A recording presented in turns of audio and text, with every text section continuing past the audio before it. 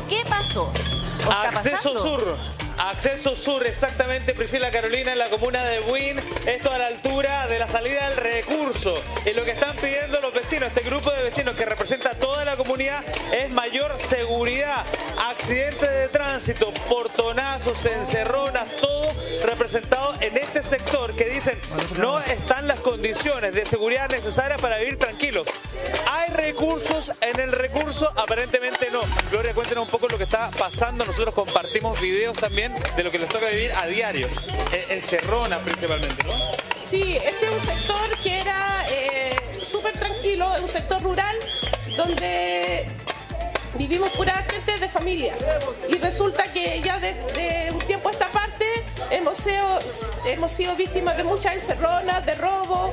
Entonces, Aquí me imagino que hay vecinos que han sido víctimas de algún hecho de delincuencia, encerrona, algo usted, por ejemplo. Hola, buenos días. Sí, la- a mí lamentablemente hace un tiempo atrás en el acceso sur eh, me quitaron mi vehículo. Iba con mi esposa alrededor de las 11 de la noche. Me 11 de la noche, 11 día de semana. Día de semana. Me Iba usted con su señora, con Iba su con mi familia. esposa sola, no, solo con mi esposa. Ya. Y en el acceso sur me cruzaron el vehículo, Ay, dispararon al aire, me apuntaron con la pistola a mí en la cabeza Traumático. y lamentablemente tuvimos que entregar. Cuénteme un poco esto, pero, o sea, absolutamente traumático, Priscila. Usted me dice, acceso sur, le intercepta entonces el camino un vehículo, se detiene, ¿cómo fue? Correcto, se, eh, se intersecta un vehículo, se detiene, se bajan seis personas, disparan al aire, Jóvenes, jóvenes, no tenían mayas de 17, 18 años. Y- cuando lo vio usted, que se bajan, inmediatamente usted, me imagino que trató de reaccionar de alguna manera. Que, O sea, ¿Qué- lamentablemente son fracciones de segundo que uno se corta, la verdad. Y solamente pienso en la vida en entregar y entregué todo. Me quitaron la billetera, me sacaron el polerón, me quitaron los teléfonos, todo. Y me me dejaron decía que calle. incluso lo apuntaron con un arma? Me apuntaron con el arma en la cabeza. Señora, mientras tanto, estaba ahí mismo. Mi esposa, claro, iba, manejando y la bajan del vehículo y ahí nos quedamos botados en el acceso sur. Y oscuro, sin luminaria, nada. Y lamentablemente en ese segundo no pasó ningún vehículo. Entonces fue, la verdad, Claro. muy traumante para nosotros. Y este es el camino que deben recorrer. ¿Cuál es su nombre? Walter. Walter y el resto de los vecinos a diario para poder ingresar hasta, hasta su casa. Y eso lo, lo grave. Usted me contaba que también le, le tocó vivir o presenciar. Presencial. Sí, eh, tuve la oportunidad de presenciar una de las encerronas que, que son bastantes, se está viendo muy a diario. ¿Qué fue lo que vio? Eh, cuando se bajaron del, vehículo, le, hicieron las encerronas, se bajaron del vehículo y automáticamente a romperle los parabrisas. El parabrisas al caballero, al caballero, de hecho, no le abrieron la puerta, lo sacaron por el, por el vidrio. De forma brutal, le quitaron todas sus pertenencias, salió justo el vecino eh, donde fue exactamente. Eh, como no se dieron cuenta donde estaban eh, tan metidos en robarle, no se dieron cuenta que salió el vecino. Cuando el vecino les dijo, oye, por favor, déjenlo, se bajan, automáticamente lo, lo apuntan con la pistola eh, de forma agresiva, éntrate y palabras fuertes, muy, muy, muy agresivos. Solamente niños tienen que ser entre 15, 20 años como mucho. 15 a 20 años. Sí, más no. 15 a 20 años. Y es por eso que los vecinos han decidido entonces ponerse en este punto de la autopista Acceso Sur. Estamos en la comuna de Wynn, como yo te decía, en el enlace, en la salida hacia el sector del recurso. Y vemos que ha llegado, de hecho, una patrulla de carabineros, que entendemos nosotros que la verdad es que los recursos en esta zona rural por parte de carabineros es escaso, según usted me contaba. Claro, porque el plan cuadrante no da abasto con toda esta localidad que es Rural Norte, porque ellos tienen que cubrir Lindero Claro. Rural Norte. Claro. Y Y, no hay carabineros, ese es el tema. Entonces nosotros estamos preocupados por este sector porque encontramos que el acceso sur a nosotros nos ha traído grandes problemas. La delincuencia se apoderó de recursos. Vamos a hacer lo siguiente, vamos a hacer lo siguiente. Oscar, pongámosle un retorno a la señora Gloria para que pueda conversar también con José y con la PRI, que Ya. están en el estudio. Eh, ellos están acá mostrando entonces, PRI, lo de la delincuencia, pero además accidentes de tránsito en un sector que dicen no hay cámaras de seguridad y en Sí. donde nadie respeta nada. Por este mismo sector, por este mismo sector dice, escapan los delincuentes en contra del tránsito para poder llegar hasta el acceso sur en contra del tránsito. Con poca iluminación, le da lo mismo, claro que sí.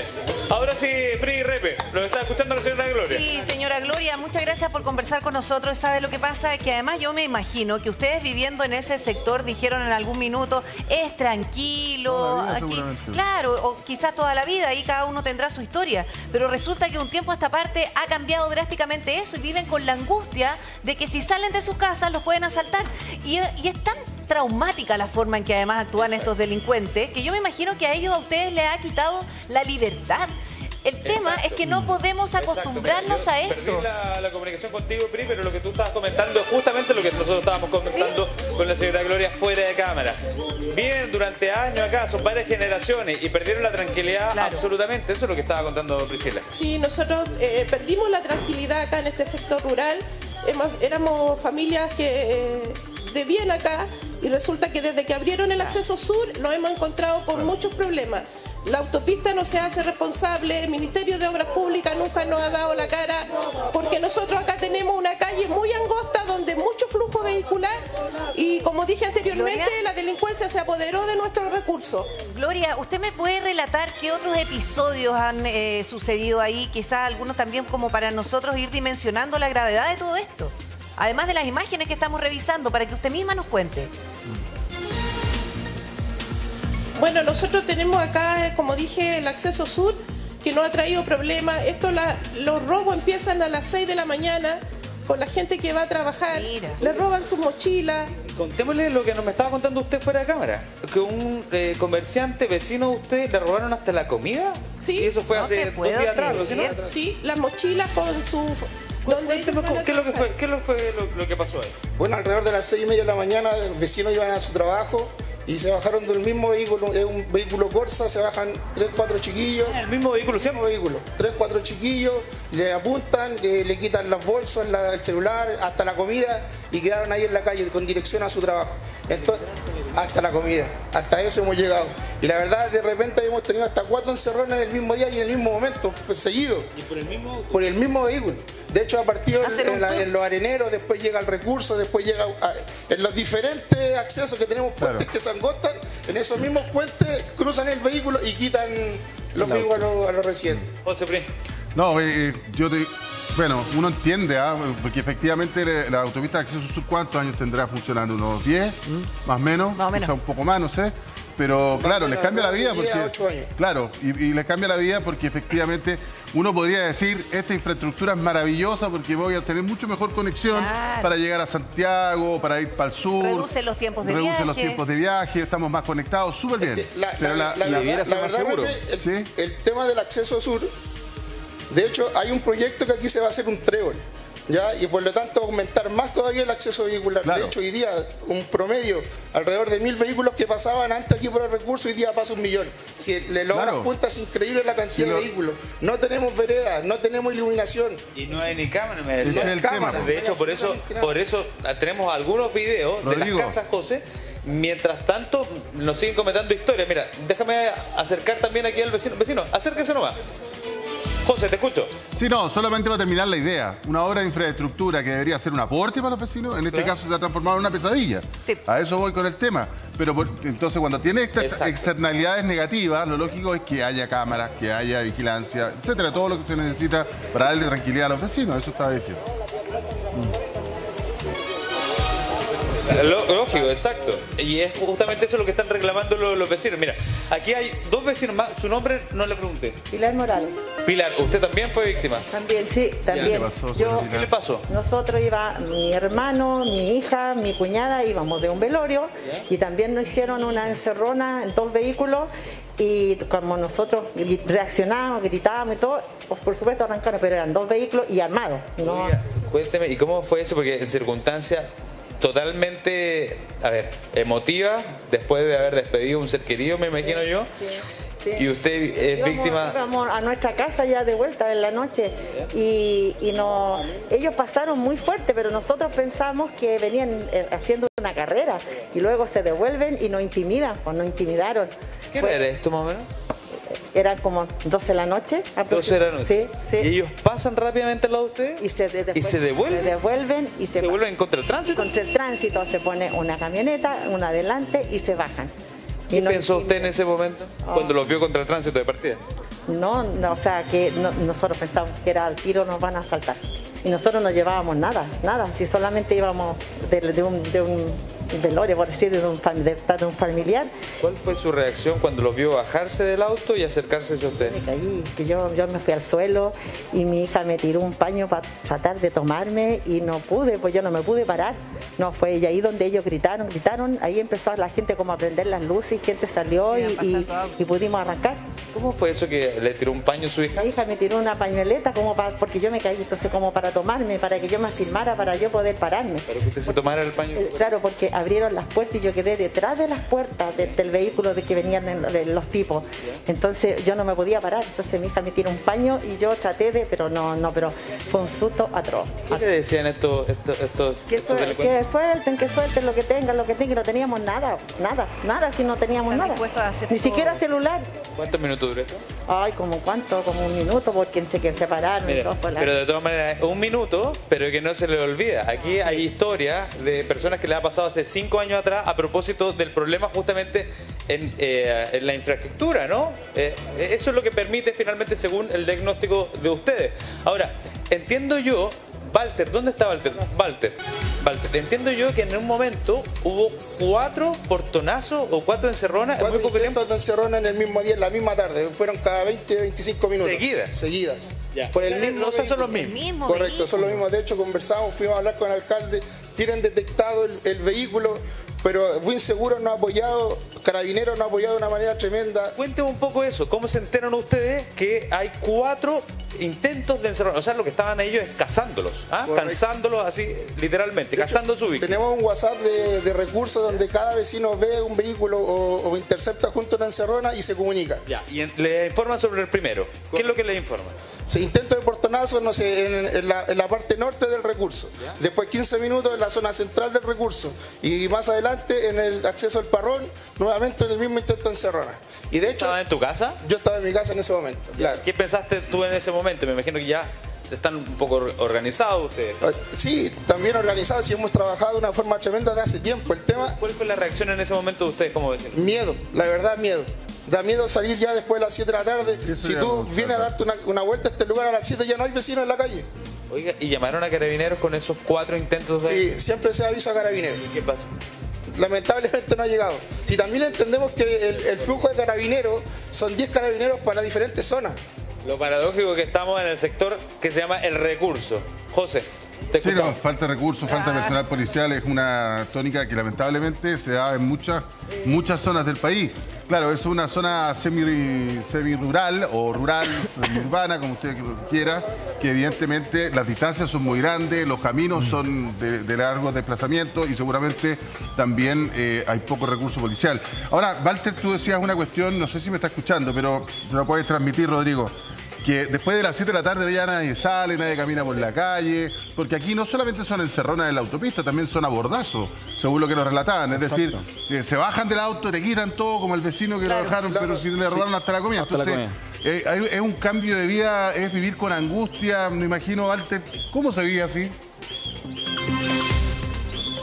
Sí, la verdad fue un cambio de vida para la, la localidad del recurso. Yo llegué acá hace 23 años y uno entraba a los accesos del recurso y uno tenía tranquilidad. Claro. Uno ya respiraba tranquilidad porque era, era muy tranquilo, valga la redundancia. Pero después de que hubo el acceso sur, la tranquilidad de este lugar se, se fue a las bailas. Y la verdad el tema es que la gente no puede caminar, no hay, no hay vías, no hay, hay- Hoy día las inmobiliarias han, han parcelado varios lugares y tampoco no hay un ingreso para la localidad, no hay implemento de vereda, no hay luminarios, son cosas que a la, a la comunidad le afecta de una manera tremenda.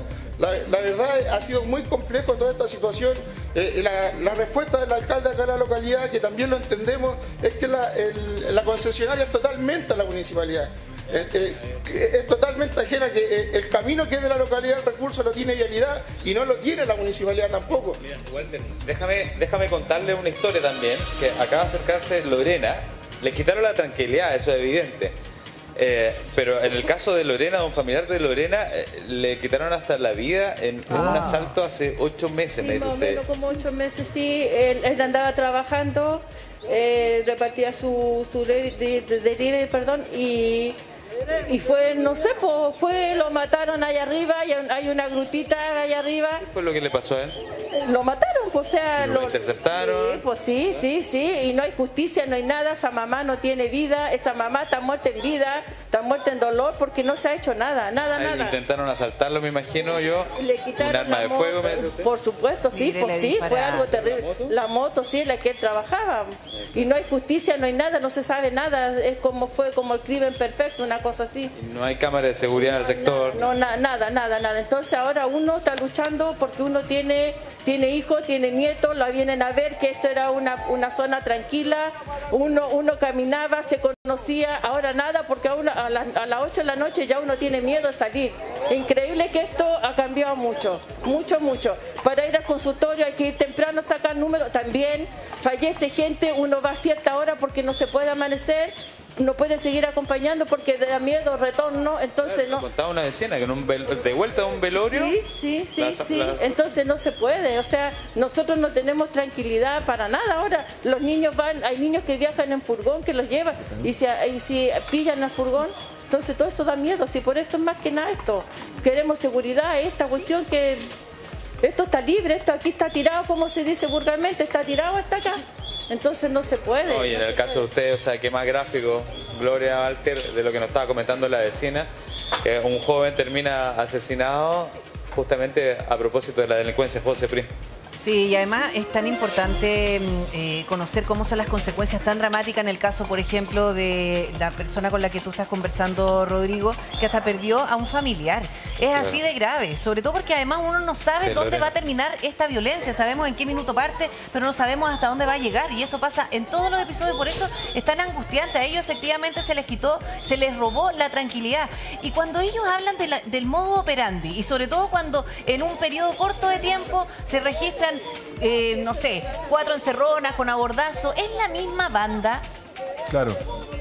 Puede ser una hipótesis, una, una banda especializada en el Sí, sector. es lo que yo le Claro. estoy preguntando a Lorena. Se sabe poco, ¿ah? Ellos, ellos tienen su- sus propias teorías. Cuidado de dar buena atrás, que va pasando un camión. Eh, te estábamos hablando si que se tratará de la misma banda o no. No, no, no, no creo. No, no. No, porque esto se dice que andan, son menores de edad. Si son menores de edad, lo que andan haciendo daño. Claro. Son menores de edad y si uno actúa mal, le pega o lo mata, no sé Claro. quién, quién el problema es uno. No, ellos no, no les pasa nada. Ahora, O sea, es, es evidente que no son de acá, que no son del sector, porque ustedes se conocen entre, entre todos. ¿De, de dónde vendrán estos, estos jóvenes menores de edad? Bueno, la mayoría cuando hemos se han tomado las patentes, estos vehículos vienen de Bajo de Mena, Puente Alto, O sea, la- vienen del sector norte. el sector norte. Del sector norte se trasladan hasta acá. que ellos tienen entrada por este lado, salida por el otro lado, entonces es como una boca de lobo, o sea, para nosotros. Entonces acá nosotros lo, único que esperamos de la autoridad es que se hagan presentes y nos ayuden a, con este grave problema. Mostrémosle un poco lo que, lo que ustedes me están contando, ¿ah? porque nosotros vemos este grupo de vecinos que están acá acompañando, representando entonces la necesidad de seguridad de los vecinos del sector del recurso. Y es por este sector, por este sector que ustedes me decían, que avanzan en contra del tránsito. En Lo que ven allá, allá ustedes, al fondo, es el acceso sur, lo que va desde el sector sur de la capital hasta Paine probablemente. ¿ah? Ustedes se- lo, lo conocen, ¿no? Sí. En Palma con la ruta 5. Sí. En este sector, este sector es el utilizado. Mira, aquí viene un vehículo, los delincuentes escapan en contra del tránsito. O sea, se pudiesen encontrar, evidentemente, con alguno de estos eh, autos, Claro. provocar un accidente, accidentes ya han ocurrido, y escapan entonces de manera totalmente impune porque no hay cámaras de seguridad acá en este sector. Claro, no hay cámaras de seguridad y este es el sector más peligroso porque de aquí entran y más encima viran hacia el recurso, habiendo ahí un de no virar. Mire, ¿y sabe lo que me comentan acá los vecinos? Que creo que sería bueno chequearlo también. Los vecinos me dicen lo siguiente. Que para el sector, para tres sectores, ¿ah? Alto Jahuel, el sector del recurso, existe un retén y con una dotación que me dicen de dos carabineros, me dicen, con un retén, ya. Eso es lo que dicen los vecinos. ¿ah? Imagínense, este tremenda extensión, extensión de terreno con un retén móvil y con dos carabineros, según lo que nos dicen los vecinos. Pri, Pero José. Es que todo eso es insuficiente, Rodrigo, porque son varias cosas en las que nosotros deberíamos poner más atención. Una cosa es la, la infraestructura, que finalmente se da como para que ellos puedan salir rápidamente. Estas vías de acceso es muy expedita. La iluminación en el sector, no hay cámaras de seguridad, entonces es muy difícil saber quiénes están actuando ahí. Ahora, cuando tú dices la presencia de carabineros, y, y- y sobre todo si hablamos de recursos, mira, hablamos, eh, es irónico, pero estamos en el sector de recursos, lo que más falta son recursos. Recursos incluso de, carabineros. Nosotros vamos a aprovechar de conversar con la capitana Javiera García, que nos acompaña aquí en el estudio, y es, es muy difícil no empatizar con estas personas que se les robó la tranquilidad y eso es lo más valioso que tiene la gente. Pero ¿qué pueden hacer ustedes?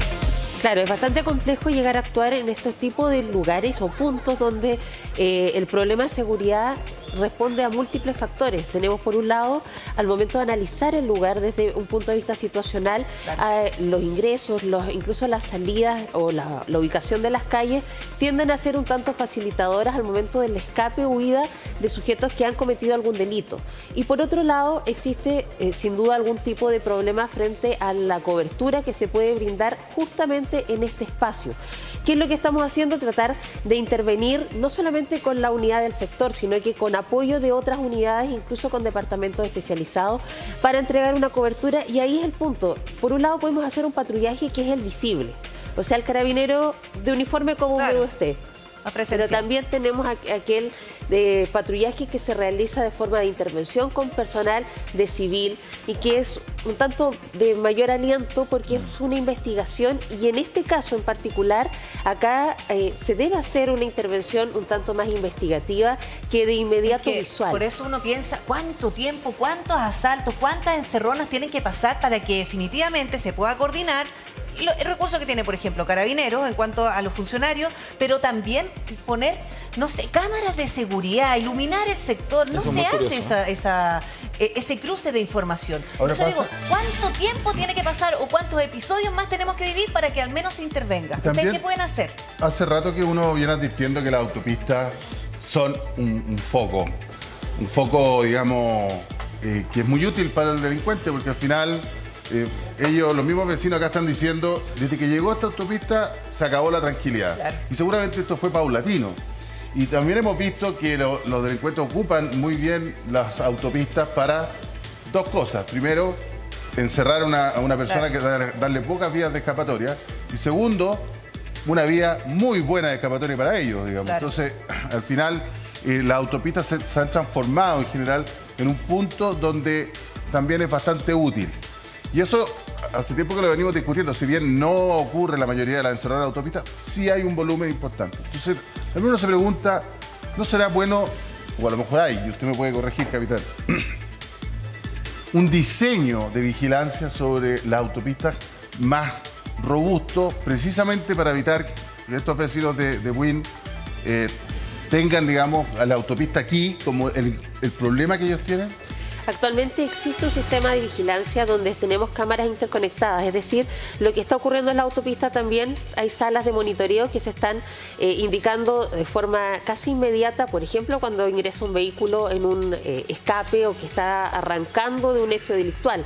Existe, pero sin duda sería importante robustecer esto, porque la demanda actual eh, responde a una necesidad distinta a la que teníamos hace 3, 4 años. Actualmente tenemos una necesidad de seguridad que es compleja, porque así como está ocurriendo en Buin, también ocurre en otros puntos de la región metropolitana y no solamente en la región metropolitana, sino que a nivel país.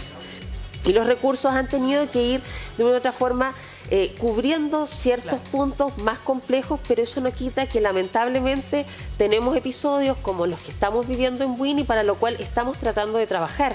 Ahora, quienes actuamos en temas de seguridad somos muchos los responsables. Por un lado, estamos las instituciones policiales, carabineros, pero también son otras instituciones que también deben intervenir, como por ejemplo para la implementación de cámaras de seguridad, de vigilancia también externa. Porque mire, más allá de que estas personas hagan o no las denuncias, resulta que hoy día están protestando para visibilizar un tema. Y aquí también estamos con el gobernador de la región metropolitana, Claudio Rego. Aprovecho de saludarlo, gobernador. Y yo imagino que es un tremendo dolor de cabeza, sobre todo porque, mire, lo comentaba con la capitana. ¿Cuántas más encerronas se tienen que registrar para que definitivamente conversen todas las instituciones y nos pongamos las pilas en un sector donde repetitivamente se realizan este tipo de, delitos? Bueno, muy buenos días. Gracias por la invitación. Eh, tal como decía la teniente, eh, ojalá fuera solamente Win, ah, pero lamentablemente esto ocurre también en Chicureo, ocurre a la salida de Américo Vespucio. O sea, la verdad es que tenemos una, una- un aumento significativo de estas bandas que se dedican a estos portonazos, eh, o estas encerronas más bien en, la- en la- en las carreteras. Eh, nosotros hoy día contamos con carabineros en los centros de, eh, de control de las Monitoreo. autopistas. O sea, por lo menos cuatro autopistas en Santiago tienen un carabinero de punto fijo 24-7 en el lugar. Ahora, lo que nos falta son dos cosas, creo Es yo. parte del plan de este gobierno. Eh, claro, digo, nos faltan dos cosas. Una, nos faltan más cámaras, sin duda alguna. No solamente en la autopista, nos faltan cámaras y ahí quizás tenemos que mejorar un poco el tema Pero más ¿y que- eso, ¿y eso de quién depende poner cámara? bueno, depende de varias instituciones. Depende primero de las autopistas, de las autopistas mismas, eh, depende de muchas veces el Ministerio de Transporte, ministerio, de- depende de los municipios que presentan proyectos de cámara que nosotros financiamos. O sea, nosotros hemos financiado algo así como 25.000 cámaras en la región metropolitana Claro, como porque una cosa es que estén las cámaras y otras personas que estén monitoreando Bueno, las cámaras, sí, porque que- registrándolas. Yo, yo te decía que primero nos faltan más cámaras, eh, algunas de ellas móviles. Ah, Una de las cosas que hemos visto a raíz del tema de, los- de los vertederos ilegales es que no basta con tener una cámara fija en un lugar porque la gente no es tonta. Los, los delincuentes o, va- las mafias se van cambiando. Entonces tenemos que tener cámaras de estas que se instalan temporalmente en algunos lugares para poder eh, hacer monitoreo. Segundo, tenemos que avanzar en la integración de las cámaras porque lamentablemente, y ahí tengo una diferencia con la teniente, no están integradas las cámaras. capitán. eh, ¿Teniente o capitán? Capitán. Capitán, me dijeron teniente, pero bueno. Ah, capitán. Oiga, eh, la verdad es que una de las cosas que, no- que- que hoy día está pasando en Santiago es que tenemos cerca de 25.000, 30.000 cámaras que están desconectadas. O sea, O las sea, cámaras de la UCT es son de la UCT, de- las cámaras de de- de- adorno. del municipio son del municipio, las de la autopista son de la autopista. O sea, en Santiago hoy día no tenemos integrado. Pero todas, y, integración. y esas cámaras ya están, eh, están desconectadas, que en el fondo no están integradas, no, no, hay, no, están como todas en línea. Pero ¿hay además cámaras que no funcionan? Bueno, en en el caso de la Media Providencia, por ejemplo, que es un proyecto que queremos Porque hoy eso es día, más grave todavía. Que estamos, que estamos impulsando, cerca de un 20% de las cámaras están sin, eh, de- sin sea, de mantención. ¿Y sabes por qué? Porque eh, los, los municipios hacen el proyecto de comprar la cámara, nosotros les financiamos el proyecto, pero después la parte de ellos, que es la mantención, no la contratan. Entonces, Claro. ten- tenemos un problema. Pero, Pero mira, faltan cámaras, mejor ubicadas, Sí. falta integración. Y lo tercero que falta, que tú también lo mencionabas, Priscila, es que uno no puede tener una persona 24-7 mirando todas las cámaras que hay en Santiago. Necesitamos inteligencia Sí. artificial, software de última generación que haga un rastreo automatizado Pero, pero de lo que está pasando una, en las una cámaras. cosa que, que- perdón, una cosa que vale la pena que, que digamos es que aquí hubo una inversión público-privada para justamente sacar adelante el- los problemas de seguridad en las autopistas de varios miles de millones y en eso se, pusieron más cámaras, está la presencia policial justamente en las centrales y por lo demás, gobernador, yo entiendo que también hubo una coordinación que de hecho ha logrado reducir en un 20% en los últimos tres meses la cantidad de- de de problemas justamente en torno a robo de vehículos violentos en autopista.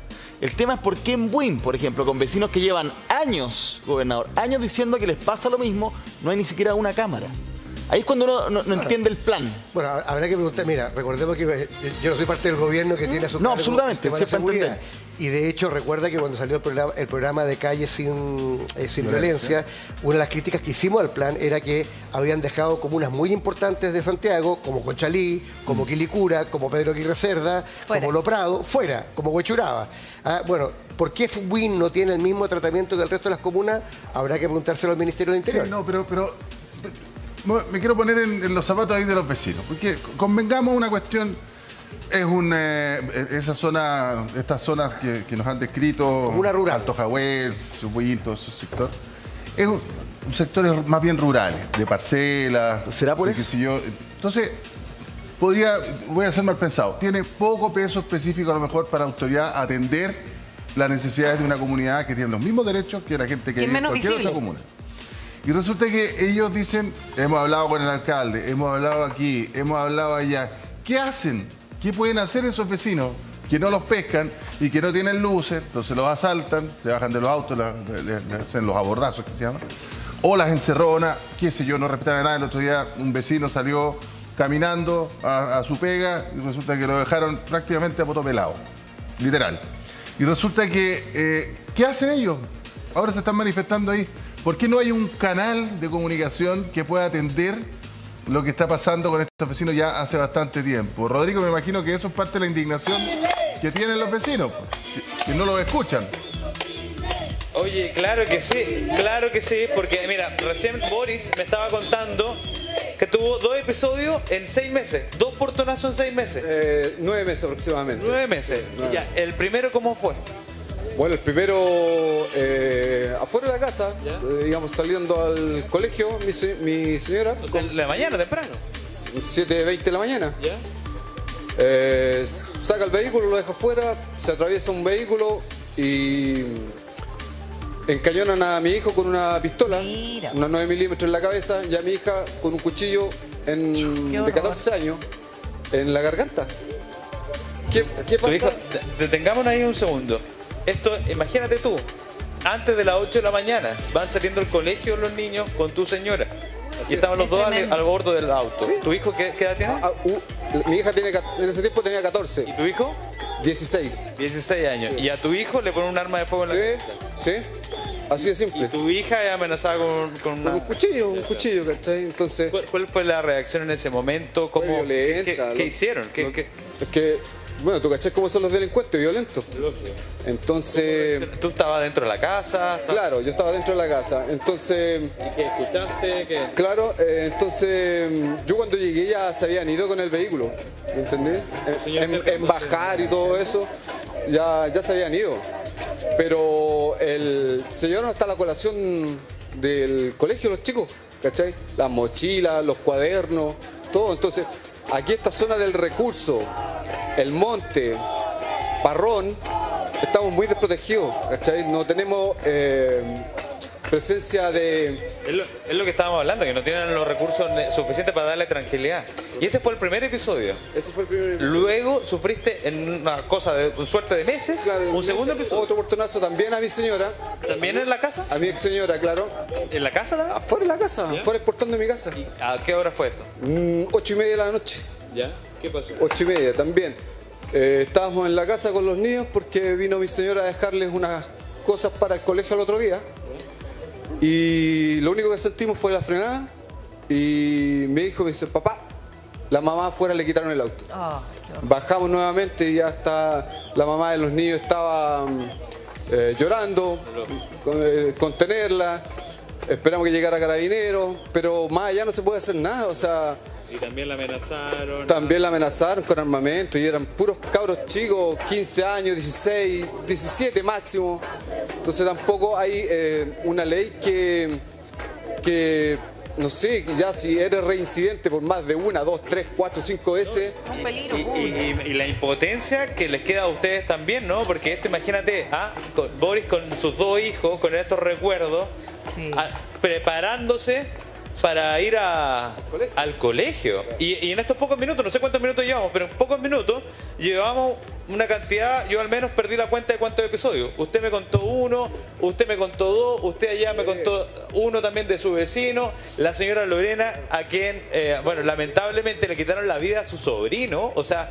Y esto es una localidad rural, que se supone que debiese ser una localidad tranquila, con mayor, menor tasa de delincuencia, al menos eso esperaban ellos. Y resulta que, como dicen ellos, literalmente en buen chileno están tirados.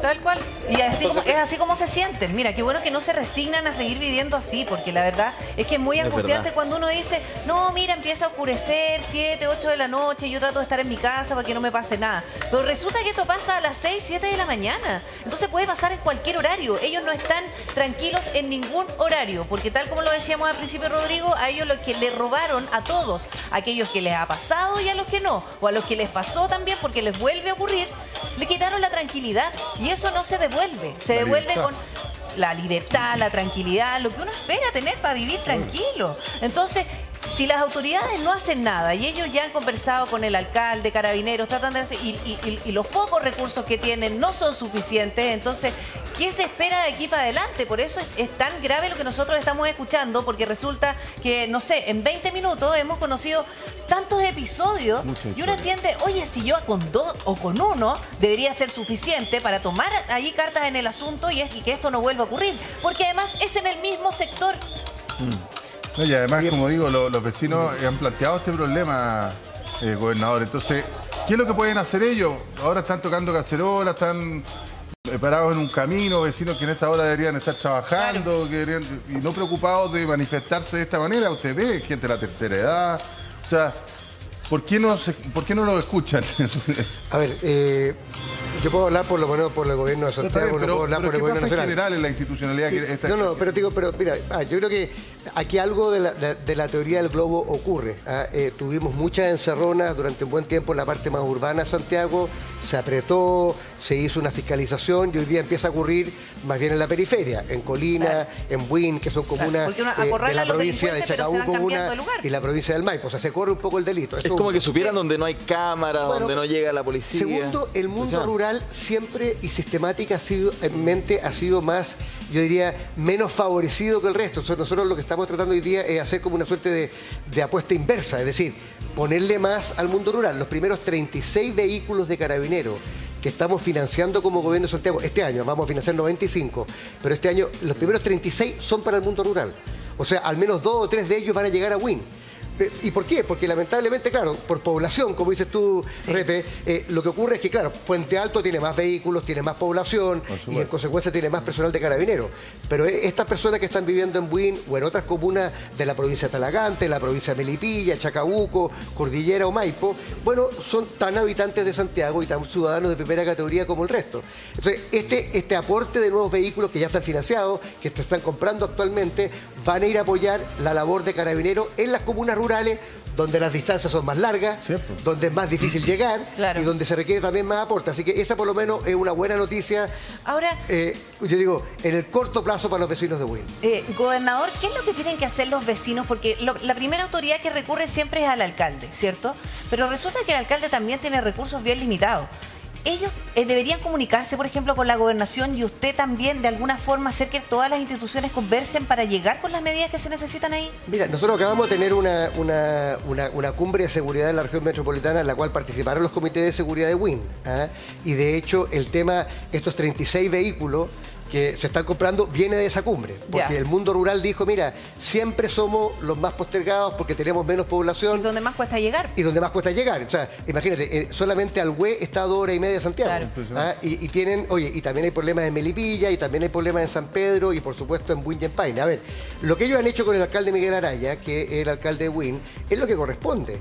Ahora, nosotros hemos luchado, lo he dicho otras veces acá también en televisión, porque eh, el Estado, el gobierno, nos reconozca un rol necesario a los gobiernos regionales en materia de seguridad. No solamente de financiar, estamos financiando 85 mil millones de pesos eh, en aporte a Carabineros, a la PDI, a los municipios, pero aquí no es solo un tema de plata, es también un tema de coordinación. Y, y bueno, se dice que en julio, o sea, esta semana, el gobierno va a enviar un proyecto de ley, vamos a ver si se cumple, al Congreso Nacional para entregarnos a los gobiernos regionales eh, eh, el, el rol de liderar el tema de prevención del delito en las regiones. Eh, y si eso es así, creo que vamos a tener bastante más herramientas para poder articular O sea, lo una respuesta es a problemas como la que articular, Articular es la palabra, porque al final, como que cada comuna se salva sola. Eh, el Ministerio del Interior tiene su, su cuento también por, eh, por su lado, que es como el manejo global. Claro, la Intendencia tiene, eh, por otro- o sea, la Intendencia, la, La delegación. Se le cayó carnet, don René. Sí, sí, le cayó carnet. Tiene, tiene, la- tiene las atribuciones, de, por ejemplo, de organizar el orden público, pero los gobernadores quedaron así como, bueno, o sea, yo lo sea- que puedo hacer es financiar. Entonces le pregunta, eh, gobernador, quiero ir a otra parte, a otra Ya. pata, porque como aquí son tantos actores los que pueden colaborar y los que están involucrados, también es cierto que lo- una cosa que dicen los vecinos, desde que llegó esta autopista ha sido un problema. Porque, y uno dice, qué raro, porque la infraestructura, la gracia es que favorezca a las comunidades. Mayor conexión, menos tiempo de traslado, menos aislamiento. En, en caso de emergencia, tomamos la autopista y llegamos a un centro asistencial súper rápido. O sea, debería ser positivo. Claro. Pero la externalidad es negativa. Parece que nadie se hace cargo de eso. Eh, luminaria, las mismas cámaras que hablábamos y la seguridad, digamos, en, en general en torno a esto. Tienen que jugar un rol también las autopistas en la seguridad desde el punto de vista. Yo no sé si eso está en los contratos de concesiones, pero las externalidades negativas deberían ser subsanadas también por ello. ¿o ¿no? Oye, yo creo, primero, está. Segundo, eh, puede mejorar. Yo creo que tal como les decía yo, yo creo que hoy día, por ejemplo, a nosotros nos pasó con un tema distinto al tema de la seguridad, que es el tema de los vertederos de basura. Hay cámaras en toda la autopista. Por ahí pasan camiones cargados de basura sin patente. ¿Cómo no van a ser capaces de reportar automáticamente y tener un, re- un- protocolo para poder requisar esos camiones que están, oye, de verdad contaminando nuestros ríos, nuestros canales? Yo creo que la autopista en Santiago, tuvimos una reunión el otro día a raíz del tema de la basura, eh, todavía pueden hacer mucho más de lo que están haciendo. Y, y no me refiero solamente a inversión, aunque también, ¿ah? si tú sabes que hay un lugar que sistemáticamente recibe camiones, bueno, ponle una cámara. ¿Cuánto le cuesta una autopista que gana millones de dólares? Oye, poner una cámara en un lugar para poder detectar. Eso es lo primero. Y lo segundo es que tenemos que hacer un trabajo más de coordinación. Como hablábamos un momento, Repe, aquí está el municipio, están los inspectores municipales, está lo que puede hacer el gobierno regional, está la fiscalía, está Carabineros y está la autopista. Yo creo que para que las autopistas se legitimen socialmente, no basta con que estén bien pavimentadas ¿ah? O que estén bien iluminadas, también tienen que ser seguras. Y eso es un elemento que probablemente hace 20, 30 años, cuando partió las concesiones, no era tan relevante. Bueno, se están revisando los contratos ahora. Bueno, hoy día yo creo que es el momento de que cuando tú hagas una dentro de los estados. abrieron a- a- oye, a- de, lo- de los indicadores de desempeño de una autopista, junto con decirle, oiga, que esté bien pavimentada, Claro. que, que esté, bueno, que tenga elementos de seguridad Sí. y una adaptabilidad a un delito que es móvil, porque ojo, quiero reiterar este tema. Hace un buen tiempo escuchábamos que estos portonazos y, o estas encerronas ocurrían en la, en la costanera norte, en General Velázquez. Bueno, hoy día hay mucho menos en esos lugares, pero se expandió hacia la Claro, pues periferia. estos delincuentes, eh, gobernador, son como las palomas, si uno los corretea y se cambian de lugar, pero siguen ahí. El igual es importante considerar. Por un lado, tenemos que, claro, la- las reacciones y las distintas intervenciones eh, que se han realizado han logrado bajar alrededor de un 15% de los delitos en comparación al año recién pasado, específicamente en el 20 robo de vehículos. El último, comparando 2022-2023. Sí. ¿Cuál es el problema que tenemos? Es que, claro, se han movido a otros puntos que pueden ser un tanto más vulnerables. Pero aquí también es complejo, porque quién comete o quién es el perfil de este delincuente también es distinto. No es un delincuente común. Muchas veces estamos hablando de menores de edad Claro. eh, que tienen una situación también bastante distinta frente a un tratamiento a cualquier eh, sujeto infractor. Entonces, eso también es importante considerar. No solamente es eh, llenar de cámaras o mejorar los patrullajes, que sin duda va a ayudar. Pero también es la intervención que hacemos con el sujeto infractor, porque no puede ser que sea siempre reincidente. Claro. o sea, No, si tiene que ser todo, come- inf- Oye, todo tiene que ser Tiene que integral. ser ¿Puedo- multifactorial. ¿Puedo agregar algo? No sé si leyeron ustedes ayer un reportaje, no sé si en la tercera o Mercurio, respecto de estas bandas de adolescentes que robaban autos por likes. Ah, sí. O sea, Ah, sí. ni siquiera para revenderlos, ni No. siquiera para reducirlos. Se Es para de demostrar que pueden hacerlo. Era para demostrar que podían hacerlo Sí. y tenían después los likes en su Instagram. Y muchas veces caen justamente por lo mismo, porque Porque publicitan, publican. publican, perdón, exactamente justamente en, en redes eso. Bueno, eh, le queremos agradecer a Rodrigo y a los vecinos y esperamos que haya una pronta solución a propósito de la Sí. situación que están viviendo, al menos una cámara, al menos un cambio, porque insisto, yo- las autopistas se han puesto con plata, pero justamente parece Oye, que falta van, oye, y van dos vehículos de carabineros nuevos Bien. a la comuna de Win. Sí. Oiga, Confirmado. Gobernador, queremos entrar, y capitana y todos los que nos están viendo justamente a otro tema que nos va a llamar la atención, que tiene que ver con lo que hablábamos, de esto de que te cambia la vida, se acaba tu libertad, particularmente de noche. Hemos hablado de Estación Central, lamentablemente muchas más veces de las que quisiéramos, pero les vamos a mostrar una imagen que es fresquita, es del cierre de esta última semana, a propósito de una fiesta en uno de estos mega edificios. Miren, escuchen el ambiente.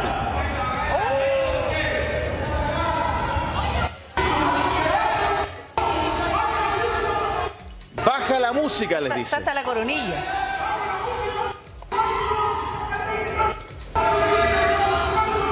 Bueno, acá, acá, el video eh, eh, es muy sintomático porque esta- estas mega estructuras, para que ustedes sepan, muchas veces aquí vemos una suerte de patio central o cómo entre los mismos edificios se, va- se van haciendo eco de lo que va Hay saliendo de cada departamento. Hay un rebote brutal. Es un rebote impresionante. Yo, yo estuve ahí alguna vez reporteando hasta las 2 de la mañana y te juro que el rebote es impresionante. El problema es que muchas veces son edificios, porque aquí los vemos muy cerca, pero no es que efectivamente estén por dentro todos conectados.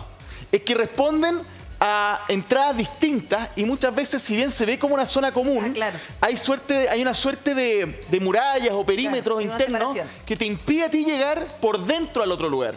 Entonces, básicamente, los vecinos se comunican simplemente a grito limpio, porque si hacen, y esto me lo han comentado más de una vez, si hacen el camino de bajar de su mega edificio, darse la vuelta, imagínate tú, llegar a- al otro edificio, hablar con el conserje, intentar dilucidar qué departamento es el que tiene la música alta. Y ese conserje muchas veces ya muy complicado, por no decir amenazado, No, poca información te entrega. quizá qué cosa, exponerse. Absolutamente. Entonces, de verdad, la música, te digo, dos de la mañana, en esos lugares retumba y puede ser un solo departamento. El problema es que a veces son varios y con distintos tipos de música compiten por cuál es más fuerte. Cualquier día de la semana. Cualquier de la semana.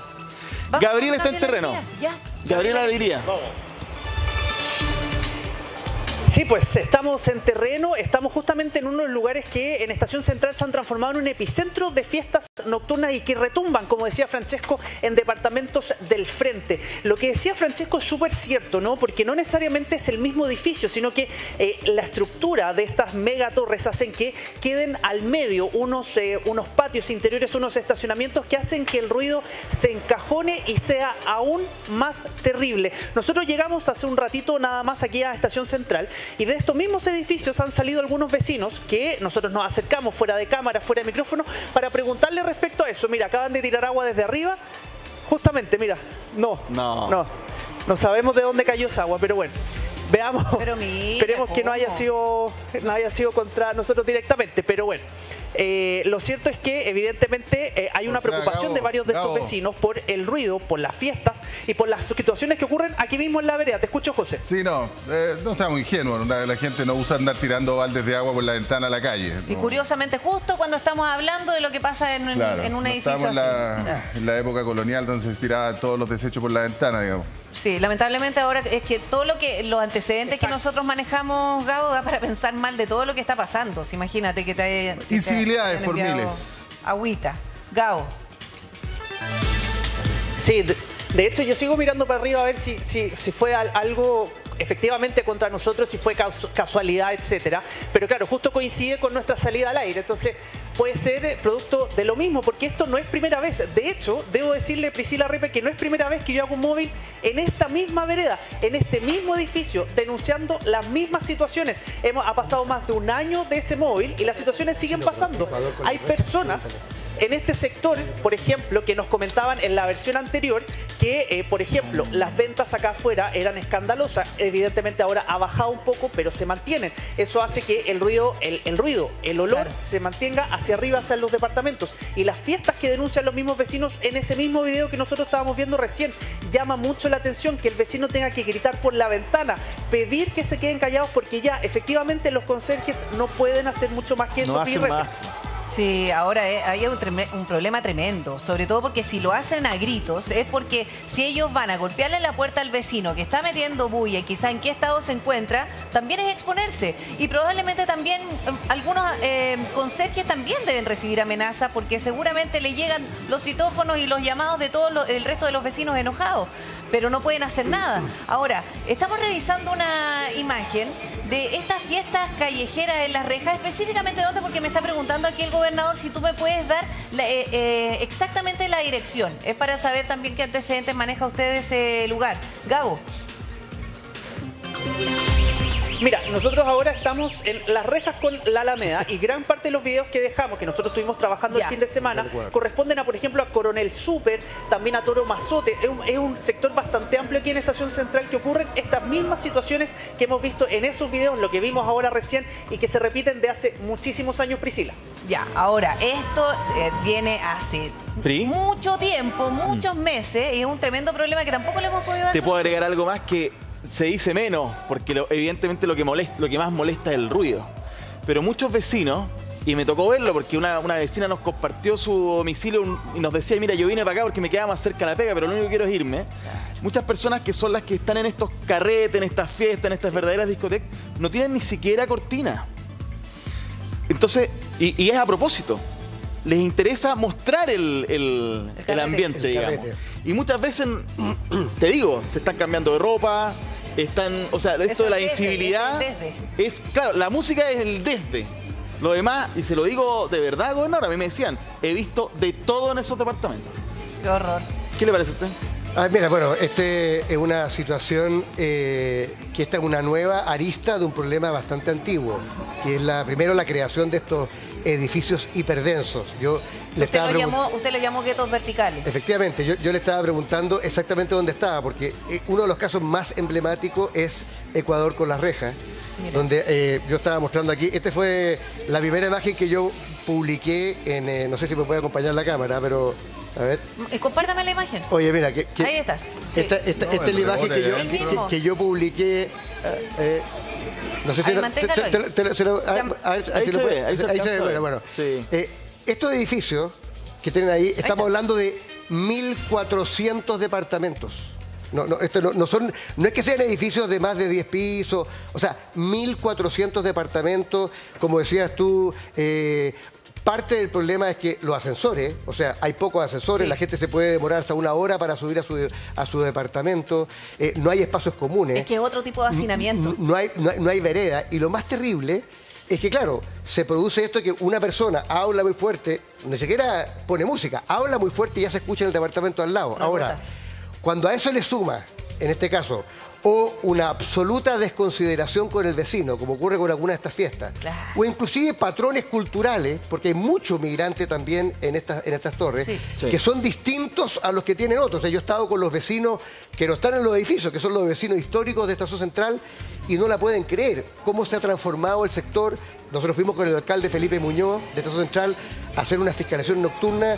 Oye, lo- lleno de comercio ambulante a las 2 de la mañana, venta de, de todo tipo de fritanga. Entonces, la verdad es que aquí tenemos un problema eh, de, de verdad significativo y serio en materia de convivencia Ya, y de pero, pero desarrollo ¿cómo, urbano. ¿cómo lo encauzamos? Porque ahí también si somos tan permisivos y no ponemos allí mano dura y cambiamos quizás las leyes y los sancionamos como corresponde, también es una forma de o, o enseñarles o encauzarlo, porque este comportamiento es terrible para tantos vecinos. A ver, está Gabriela Alegría allí con una vecina. Gabo, Sí, exactamente, Pri. Estamos con Carla, que estaba justo acá y se acerca a conversar con nosotros para poder conocer también su opinión. Usted vive en estas torres. ¿Usted nos puede contar algún episodio en particular que a usted le haya pasado? ¿Qué significa vivir en este tipo de condiciones? Sí, buenos días. Sí, mira, yo vivo aquí hace como seis años atrás y bueno, antes era peor, era peor, pero ahora ha cambiado un poco. Pero no deja de ser así que siguen emitiendo bulla, ruidos molestos, eh, fiestas, mucho ruido en la noche. Carla, ¿qué le ha pasado a usted particularmente?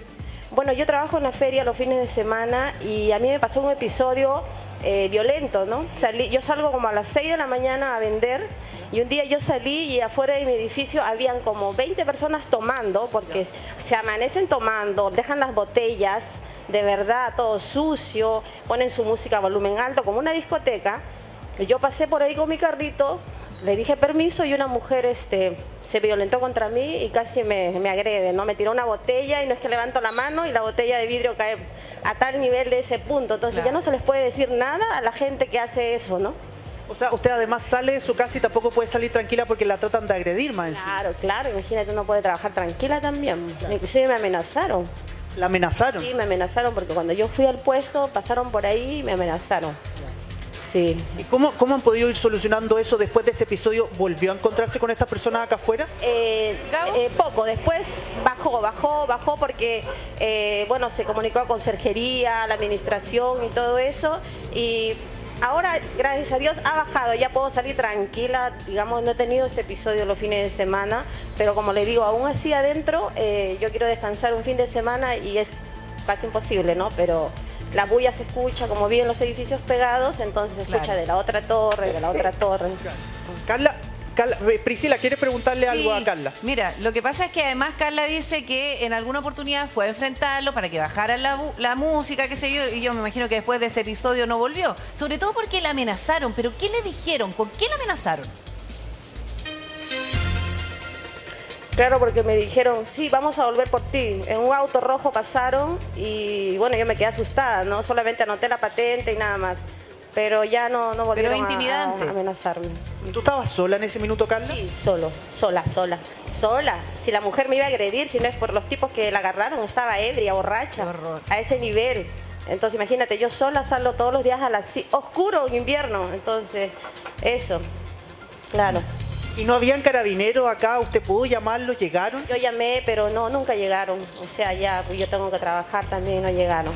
Entonces, a esa hora, domingo a las 6 de la mañana, Y, usted, ese, ese carrete, esa fiesta que usted ve acá afuera, ¿a qué hora empiezan, por ejemplo? bueno, este, lo que yo he podido ver que es los fines de semana. Son casi los fines de semana, sí.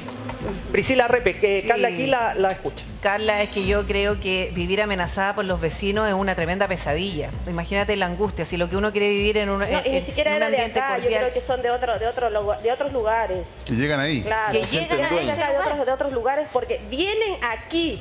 Vienen, Y- miren, aquí es que son yo no siempre puedo ni los siquiera mismos. agarrar un Uber porque afuera del U- afuera, perdón, agarrar un taxi afuera del edificio porque a veces se ponen a tomar, entonces es claro incómodo, molesto, ¿no? Porque uno quiere llegar a su casa a vivir algo tranquilo, no a descansar, que está Claro. todo el día en la calle y llegar a esos ambientes no es nada bueno, ¿no?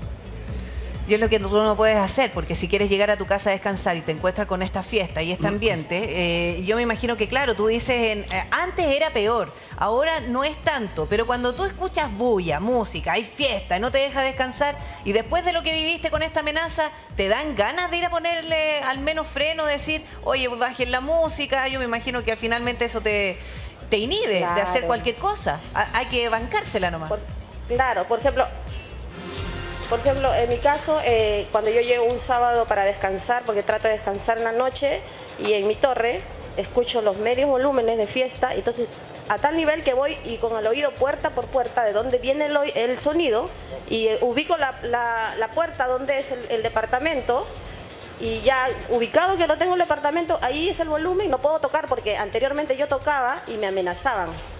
¿no? Entonces yo no le podía decir nada. Ahora, ¿qué es lo que hago? Escucho, llamo a conserjería y le digo, en el edificio tanto, torre tanto, departamento tanto, hay volumen alto, entonces ellos van y, y les bajan. Carla, Porque ¿y está qué- bien escuchar, ¿no? Pero hay que tener respeto hacia los demás, Sí, hacia las demás personas, hacia los demás vecinos que trabajamos, que no todos tenemos un mismo horario, hay gente que trabaja de noche, eh, no sé, pues enfermera, todos Sí, pues. distintos ¿Y qué turnos tipo- entonces. ¿Y qué tipo de a los amenazas te hacían cuando tocabas la puerta?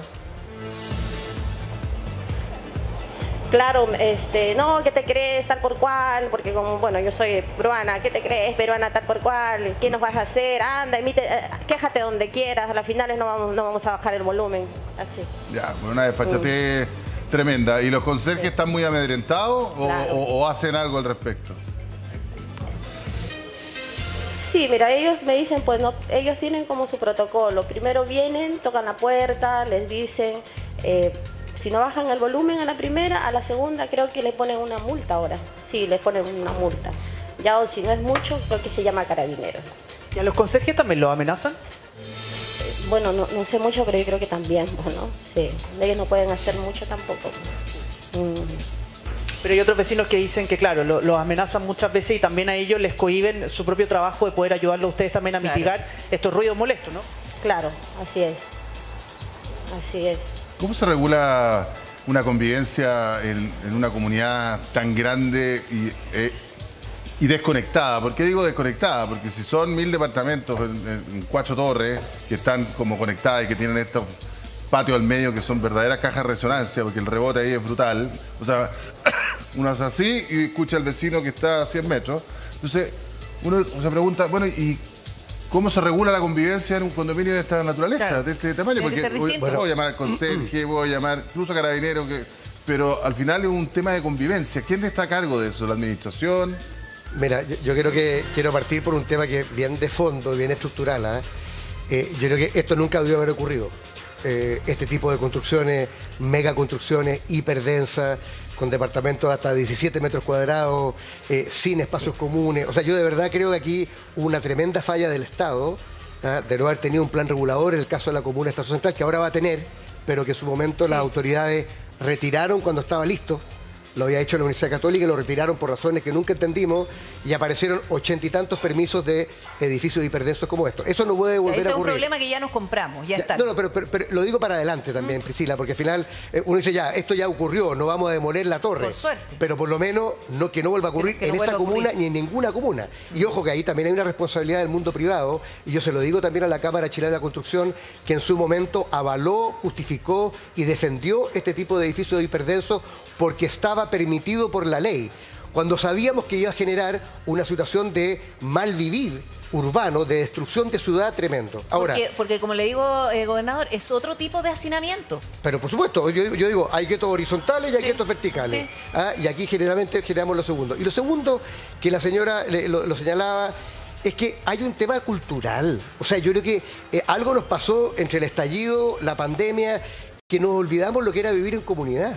Si esto no solamente ocurre en estos edificios, la cantidad de gente que anda con la pachotada, que hace lo que quiere en la plaza, que raya cualquier lugar y monumento histórico, dice mi libertad de expresión, que tira el perro Sí. a la calle, que ensucia todo. Aquí o sea, todos hacen lo que quieren. Aquí, mira, aquí pareciera que vivir en comunidad es solamente mi derecho, mi persona, mis ganas, y se eh, como que se eh, eliminó, se borró la idea del bien común, del respeto al otro. Entonces yo creo que los municipios, a través de ordenanzas de buena vecindad, van a tener que ser cada día más duros en materia de fiscalización. Aquí, por supuesto, se requiere el apoyo de carabineros en última instancia cuando hay violencia, cuando hay prepotencia, pero la primera instancia tiene que ser de los municipios, a través de inspectores municipales, a través de una ordenanza que diga, mira, en los edificios por lo menos, a cierta hora no puede haber más música fuerte. Ah, tú tienes que respetar a tu vecino y eso hoy día como que se desvaneció y no tiene que ver con la nacionalidad. Me gustó que ella fuera una persona peruana diciendo, mira, quiero que me respeten, porque la verdad es que el respeto no tiene nacionalidad y no tiene eh, ra- raza, tiene simplemente una consideración por el otro ser humano. Ya, pero esto también, eh, en términos de nacionalidad, como dice ahí, eh, una, también tiene un, hay un choque cultural, porque convengamos que, que la gente del Caribe o de, de- de- de estos países que tienen otro estilo de vida, son de música fuerte, son de bailar, mucho más que nosotros. Son más fiesteros. ¿Ah? Pero mira, pero una más cosa, fiesteros. Pero más una- que fiestero, una una, que forma se- distinta de hacer fiesta. No digo Oye. que sean malas personas, ojo, Pero, sino pero- que pero- son pero- cu- culturalmente Pero cosas cuando distintas. llegas a la amenaza, cuando llega a, a- a poner una música en un lugar como este a las 2 de la mañana, a todo dar, con la ventana abierta, eso no es un tema cultural, es un tema de falta de respeto. Ah, aquí, en Venezuela, en Perú y en la quebrada de la Ají. O sea, yo creo que hay que, o sea, hay, hay- hay una dimensión cultural sin duda alguna. Es gente que le gusta la música, anda con la música. A mí me toca en los cerros, gente que de repente anda con el reggaetón en el cerro. Yo le digo, oiga, encantado. Pero es que probablemente no póngase son. los audífonos. Sí, pero es que, gobernador, probablemente no son tantos vecinos los que están justamente con la música alta y compitiendo po. por cuál es el mejor disco. Son algunos. El problema es que tienen las personas que ¿qué hacen? Porque, insisto, no es que tú puedas comunicarte con todos los departamentos de las torres. Segundo, las torres están, no están conectadas. Tú tienes que salir a la calle, a la vuelta a la manzana para llegar a la otra torre. Hablar con ese conserje que tiene una, una cantidad de departamentos administrados impresionante por, por torre. Y entonces, cuando, como no puedes saber qué departamento es el que está eh, el que está con la música, me imagino yo llaman a carabineros, pero no les pueden decir ah, qué, qué departamento es. No. hay música en la torre del frente. Y carabineros llegará y no. Por lo mismo, hemos realizado varias intervenciones, carabineros en conjunto con el municipio. Llegamos a estos lugares.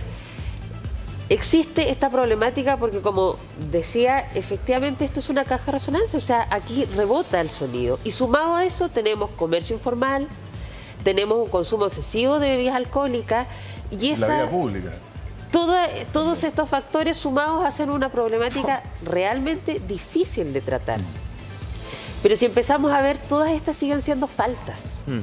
Podemos llegar Ah. nosotros como carabineros, tratar de bajar un poco la intensidad, pero no puedo- yo no puedo como carabinera llegar y llevarme a una persona detenida porque tiene la música fuerte. No, claro. O sea, hay un- me- me imagino- entiendo que hay como una advertencia y después hay un parche. Exacto. Y ya cuesta mucho llegar a cuál es el departamento Claro. que realmente tiene la música fuerte problema. porque es- existe un rebote. Acá hay un problema que es de convivencia, de respeto y que se, se extrapola a todos. O sea, no solamente en esta comunidad, sino que en las calles tenemos exactamente el mismo problema. Llegamos a patrullar y nos encontramos con situaciones de discusiones que parten por una falta o quizás por un problema menor y lamentablemente terminan muchas veces en una agresión, en una agresión física, en una amenaza.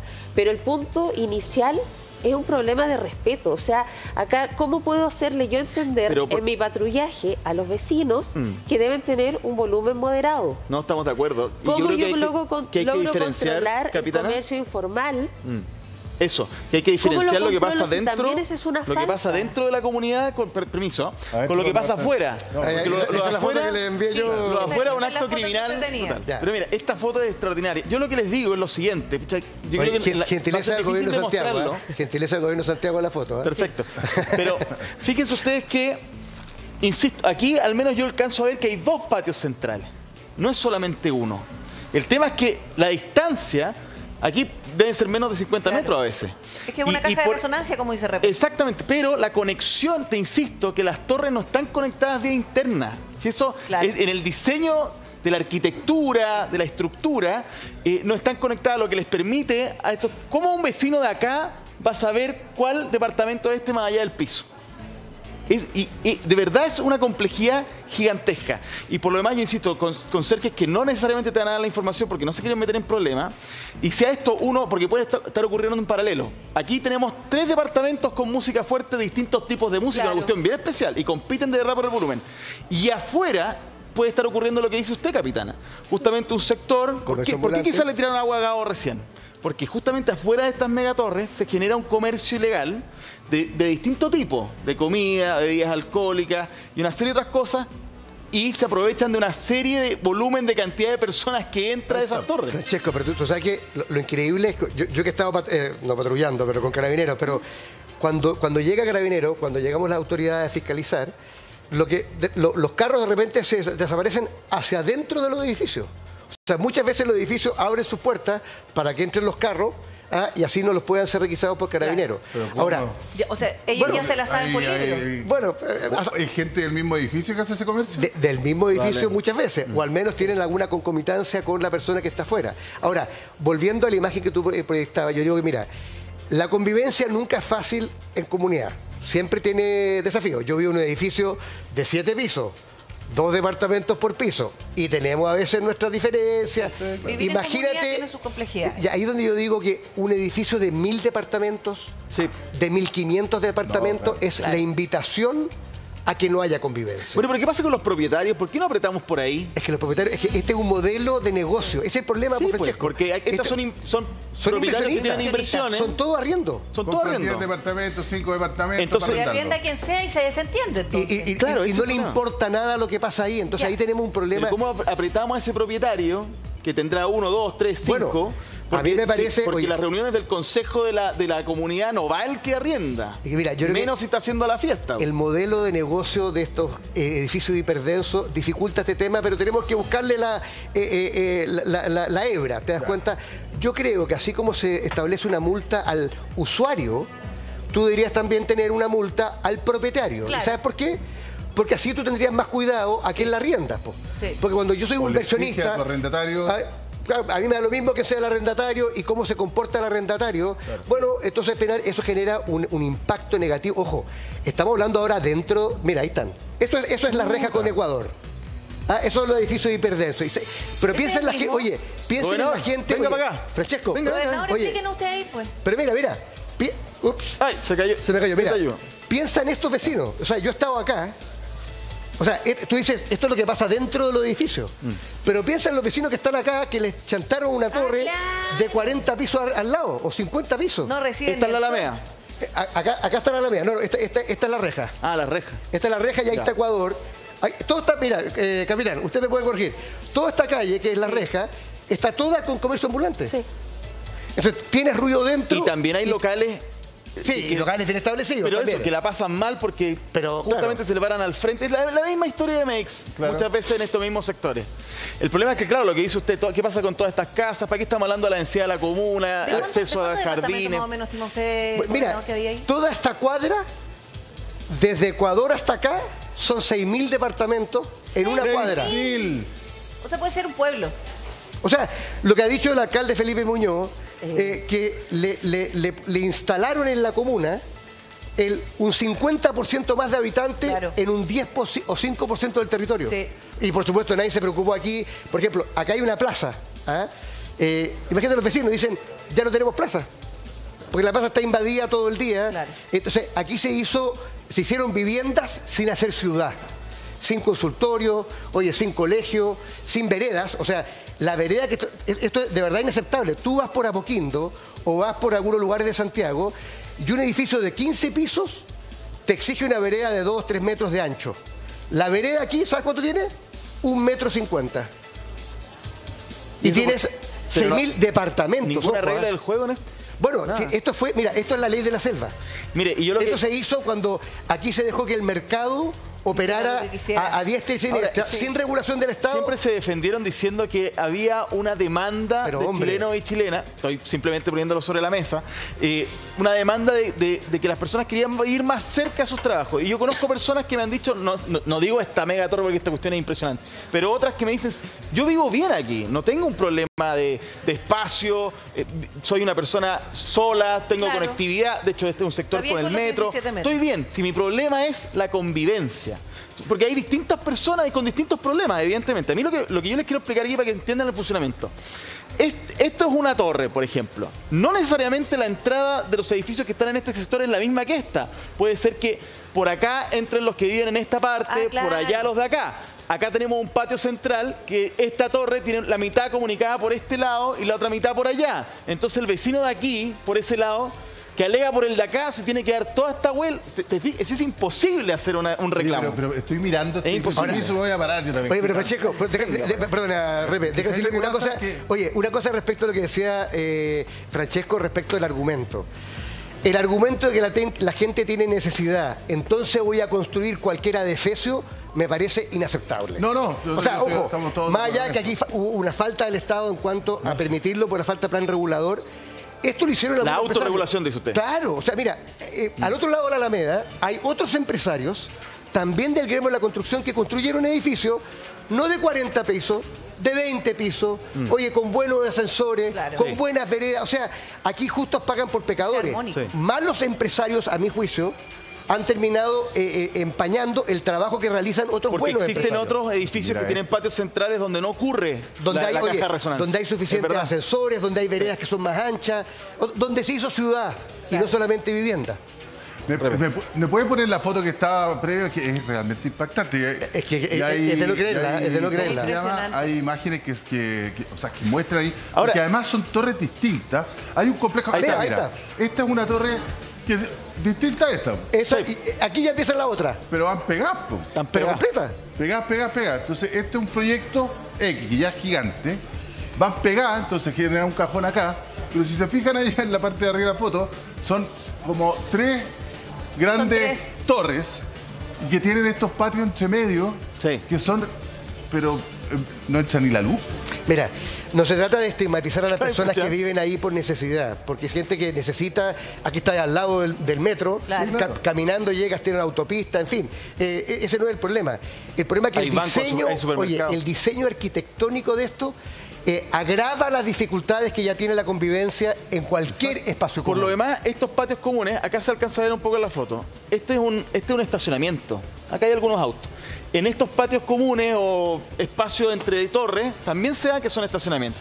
Y muchas personas no hablan de ninguna fiesta, te hablan de cuando eh, eh, empiezan con la moto o con el auto para salir a trabajar, Claro, probablemente. Te despiertan toda la comunidad. Todos los vecinos. Pues además, imagínate, si ya nos compramos este problema, ¿cómo de alguna manera regulamos también esta convivencia? Miren, vamos a establecer un contacto telefónico. Una persona, que no, no quiero dar su nombre, pero es un vecino que vive en estos edificios. Y también él registró varios de estos videos que estamos revisando, porque finalmente también nos da cuenta de cómo es la, la- la mala convivencia que tienen ahí. ¿Aló? Aló. Hola, muchas gracias por contactarte con nosotros y ojalá también puedas sumarnos más antecedentes para entender cómo viven ustedes en este tipo de edificios. Nosotros le, podemos, le ponemos edificios discotec, pero la verdad es que se viven varias incivilidades en, en- en tu comunidad. Cuéntanos un poquito Sí, de mira, eso. eh, mira, yo vine aproximadamente hace como un año acá. Ya, Eh, llegamos, bueno, yo llegué por tema de trabajo. ¿ya? Y más que nada, eh, el tema de los edificios de discoteca, eh, sí, es mucha la bulla en los, en los departamentos. Pero más que nada, el, el carrete que se le llama, el carrete en la calle, plena vía pública. Ahora, los la resonancia hacia arriba debe ser impresionante, yo- que se lo que vivo- cualquier en estadio. Cuéntanos cómo es ese carrete en la piso. calle. Ya, Yo vivo en un quinto piso. ya. Mira, y los videos que yo mandé son de un día domingo, de mediodía. Entonces un domingo, mediodía, que a lo mejor yo vengo llegando del trabajo o tengo quiero mi domingo para descansar, no se puede. Quieres dormir, da lo mismo. imposible. No, es imposible dormir hasta las 8 de la mañana acá. Imposible un día domingo dormir después de las 9 ya no puedes.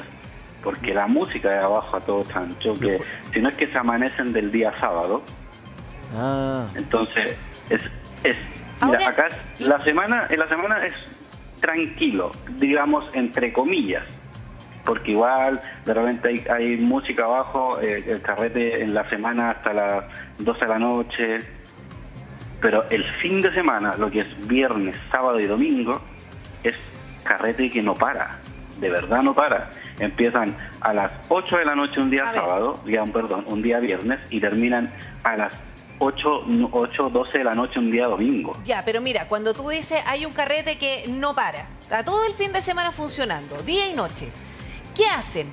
Hay música fuerte, baile, comida, parlantes, micrófonos.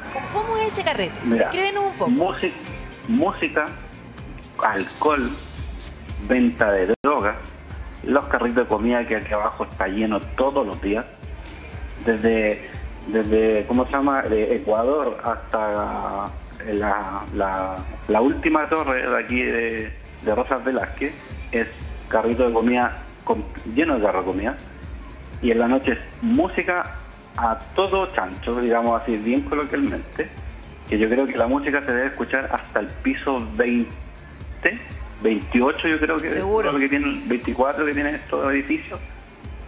Eh, yo que estoy en un quinto piso escucho como que si tuviera el parlante dentro de mi Si departamento, estuviera ahí en el carrete. Eh, como que si yo estuviera en el carrete. Ahora, uno, uno puede, gritos, puede pensar incluso, peleas. claro, eso, que uno puede pensar ya un carrete buena onda y hasta, no sé, pueden ir familias, pero resulta que, que si hay alcohol, droga, también hay peleas en el carrete. Eh, mira, han habido peleas a- con arma blanca, armas de fuego. La gente aquí ya está aburrida, sí, no sé si eh, eh, les pasó que les tiraron agua desde un Sí. edificio. Ya, aquí tiran agua, tiran botellas. Ay, a la eso de gente que carreteando. agua y que, y que tiren botella, eso es habitual, que es una forma de, de protestar los vecinos así, oye, cállense, dejen de molestar. Es la, es, mira, es la única forma que tienen los vecinos para protestar. Aquí se llama carabinero, carabinero se demora una, dos. Yo le he tomado el tiempo hasta tres horas. Una vez yo llamé a carabinero a las 12 de la noche y llegaron a las 3 de la mañana. Entonces yo estuve hasta las 3 de la mañana esperando que llegaran para que se quedaran callados y puedan dormir con sensibilidad del sueño. Y cuando Yo llega sé, Carabineros, ¿se callan? Se esconden, ven- entran a los edificios, los, los mismos conserjes los dejan entrar, los dejan entrar para que se escondan, Carabineros se va y salen de nuevo. Pero entonces, ¿es la misma gente que vive en el edificio o amigos que viven en el edificio le permiten el acceso para que es guarden los carros? gente, es la misma gente del edificio. La que hacen la fiesta acá abajo. Sí, es la- lo mismo, porque abajo como le- lo- los departamentos acá son chicos, no permiten tener tanta gente, porque hay videos eh, que son El a las espacio 2 de la mañana y hay 40 personas corriendo abajo. Oye, eh, cuéntame una cosa, ¿y ustedes se han organizado entre los vecinos que quieren vivir en paz y con respeto para los demás? Eh, ¿Se han Mira, organizado, han hablado con la administración sobre este tema? Eh, es que yo, no, mira, yo por, por mi trabajo no tengo mucha comunicación con los vecinos porque yo salgo eh, mucho del departamento y los días que estoy acá trato de descansar lo que se puede. Y hay veces que me toca los fines de semana estar en la casa y descansar. Eh, pero se hacen eh, reportes por la aplicación que se llama SoSafe. Se llama Seguridad Ciudadana, a través, se hacen los reportes a través de WhatsApp. Qué buena foto esa través- Google Maps. Sí. Eh, a Mira, través de, mira, todos los medios que se puedan y no, no pasa nada. Llega Carabineros, llega Seguridad. Ciudadana, están cinco minutos, se van la- la- lo- los equipos de emergencia y la gente vuelve a salir, se vuelven a juntar los 30 abajo y siguen carreteando. Tú me dijiste, que, tú dijiste algo que me, me quedó dando vuelta. ¿No se puede dormir el domingo más allá de las 8 de la mañana porque la fiesta parte a las 8? Es que... Toda la eh, noche. Repe, corretean desde el viernes O sea, no hasta paran. el domingo. No paran. No, paran solamente cuando llega carabinero o seguridad ciudadana. El rato. Se van y sigue carreteando. Y sigue el carrete toda la noche. Bueno, una situación... eh, Es, eh, y es todos los fines de semana. Es todos los fines de semana. Todos los fines de semana. ¿Cómo por ponerle el cascabel a ese gato? Porque es complicado. Aquí, mira, yo así, así como eh, un eh, buen ciudadano, aquí lo que hace falta es que quizás pongan un, una, un retén de estos móviles que existen, de estas casetas móviles que tiene Carabinero, que mueve de repente de, de- Sí, de retén lugar en móvil. lugar, de estos retenes móviles y estén acá todo un fin de semana. Todo el fin de semana. Que, o por último que empiezan, que lleguen los viernes y se vayan los domingos para que por último los fines de semana podamos descansar. Mira, te voy a contar, para el año nuevo acá, el carrete empezó el 28 de diciembre y terminó el 3 de enero. Uy, que tan felices con el nuevo año. Qué Mira, horror. Acá cortaron, cortaron la avenida, la cortaron los, la misma gente, la misma gente cortó la avenida en, en Ecuador con María Rosa Velázquez para que no pasaran ningún auto por la pista que no es de los buses. No te puedo Y creer. Había, habían caravanas, habían ca- carnavales, batucadas, de verdad. Yo, mira, yo pasé el año nuevo fuera de acá, Mm. pero yo llegué el día 1 porque me tocaba trabajar. Llegué a las 8 de la noche y el carrete era, era como que celebrando. era año nuevo en Valparaíso. Sin mentirte. Qué impresionante. Y finalmente hacen lo que quieren. Mira, eh, Eso es, eso es, Prisi, que hacen lo que quieren. Mira, Hacen lo que quieren. de- déjame preguntarle algo al, al gobernador que está bien interiorizado en este tema desde que era intendente, gobernador me acuerdo, pero resulta que aquí hay otro tipo de convivencia. Aquí nos enfrentamos a otro problema, no de cualquier comunidad, de cualquier edificio. Aquí son otras complicaciones. ¿Y cómo ponemos orden? Cambiando la normativa, sancionando. Acá hay ¿Cómo lo delitos que se encauzamos? cometen afuera. Claro, también. Derechamente. Mira, Consumo de alcohol en la vía pública, ruido molesto, comercio ambulante, venta de Esas droga, como dice el vecino. Comercio co- como, dice, falta. como dice el vecino, yo creo que aquí hay una suma de factores. No solamente es lo que ocurre dentro de los edificios, lo que ocurre en la calle. eh, la, la lucha que hemos dado en contra del comercio ambulante, especialmente por esto, porque cuando tú empiezas a correr la, la frontera eh, de lo que son las cosas por su nombre, o sea, el espacio público por definición es para el peatón, para que transite libremente y no para que alguien se instale a hacer una fiesta o a vender de manera ilegal cierto tipo de artefactos o de, o de bienes de consumo. Eh, Lo que yo he visto, por lo menos en el sector, que me ha tocado recorrerlo no solamente de día, sino de noche, eh, en el caso de lo que decía el vecino, efectivamente un día viernes, que es es cuando empieza a subir en ascenso, te diría yo, eh, el nivel de incivilidades. Lo que vemos un poquitito es como eh, la ley de la selva en la calle. ¿ah? Y esto Claro. No va a cambiar automáticamente. Aquí se requiere mucha fiscalización, no solamente de carabineros, probablemente de carabineros en alianza con el mundo municipal.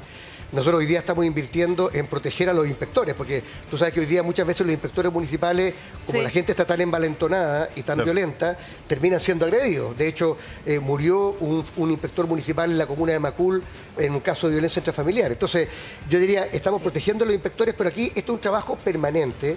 Y yo creo que aquí también todas las autoridades en todos los niveles tenemos que tener el mismo discurso, porque tú empiezas a tolerar un poquito este, te- este tipo de práctica antisocial Ese es el problema. y tú la legitimas para Que cualquier lugar. O sea, permisivo. yo- esto tiene que ver también con el rayado de las paredes, No, y- y- tiene y que ver, oye, tiene que ver con el Sí. tema de la música, Esto también se tiene que ver con los perros que tú tiras a la calle. Todo está vinculado con el aprender a vivir en comunidad, que para mí por lo menos es el corazón de esto. O sea, o aprendemos que vivir en comunidad supone derechos y obligaciones, o lamentablemente esto que estamos viendo en un barrio de Estación Central lo vamos a ver en toda la ciudad. Ya se ve en otros lugares, ¿ah? Avenida Sí. Vicuña. Mira, y ahí estamos revisando las imágenes del año nuevo que nos estaba comentando el vecino. Te quiero dar las gracias por haber estado en contacto con nosotros y así también entender la realidad de esta pesadilla que viven prácticamente todas las semanas y sobre todo el fin de semana. Muchas gracias por conversar con nosotros y gracias Gracias, también. gracias a usted. Oja- ojalá y decirle al gobernador Sí, que se supone que existe una normativa sobre, eh, ¿cómo se llama? Se me fue la palabra. la- los ruidos molestos. Se, llama, se ha llamado varias veces a la municipalidad para que eh, fiscalicen el tema de los ruidos molestos y la última respuesta de la municipalidad que los ruidos molestos pueden ser hasta las 2 de la mañana. Sobre las 2 de la mañana eh, ellos recién pueden hacer algo. Entonces, mi pregunta es, yo como ciudadano tengo que esperar hasta las 2 de la mañana para poder descansar después de un día laboral. Yo le respondería al tiro y lo voy a hablar con el alcalde Felipe Muñoz, pero la verdad es que ruidos molestos no debería haber a ninguna hora del A día. ninguna hora. De hecho, hay una norma que tiene la Seremi de Salud que limita los decibeles de los ruidos. Ahora, que tú puedas tener, oye, eh, de alguna manera, una fiesta, un encuentro en tu casa es legítimo, Claro. pero no puedes superar el límite de ruidos que establece la norma. No, y el inspector puede medir justamente Exactamente. el volumen. Sí, bueno, eh, eh, Por eso, yo le hago la invitación al alcalde que se venga un día X, Igual día nosotros viernes, vamos y a venga seguir a, el a tema. un departamento. Y nosotros vamos a seguir el tema, vamos a seguir el tema porque esto es molesto. Mm, Bueno, mm, tú solamente eres un testimonio de tantas personas que... Por favor. ¿Ustedes me dicen cuándo? Tres, dos, uno. Hoy vamos a preparar...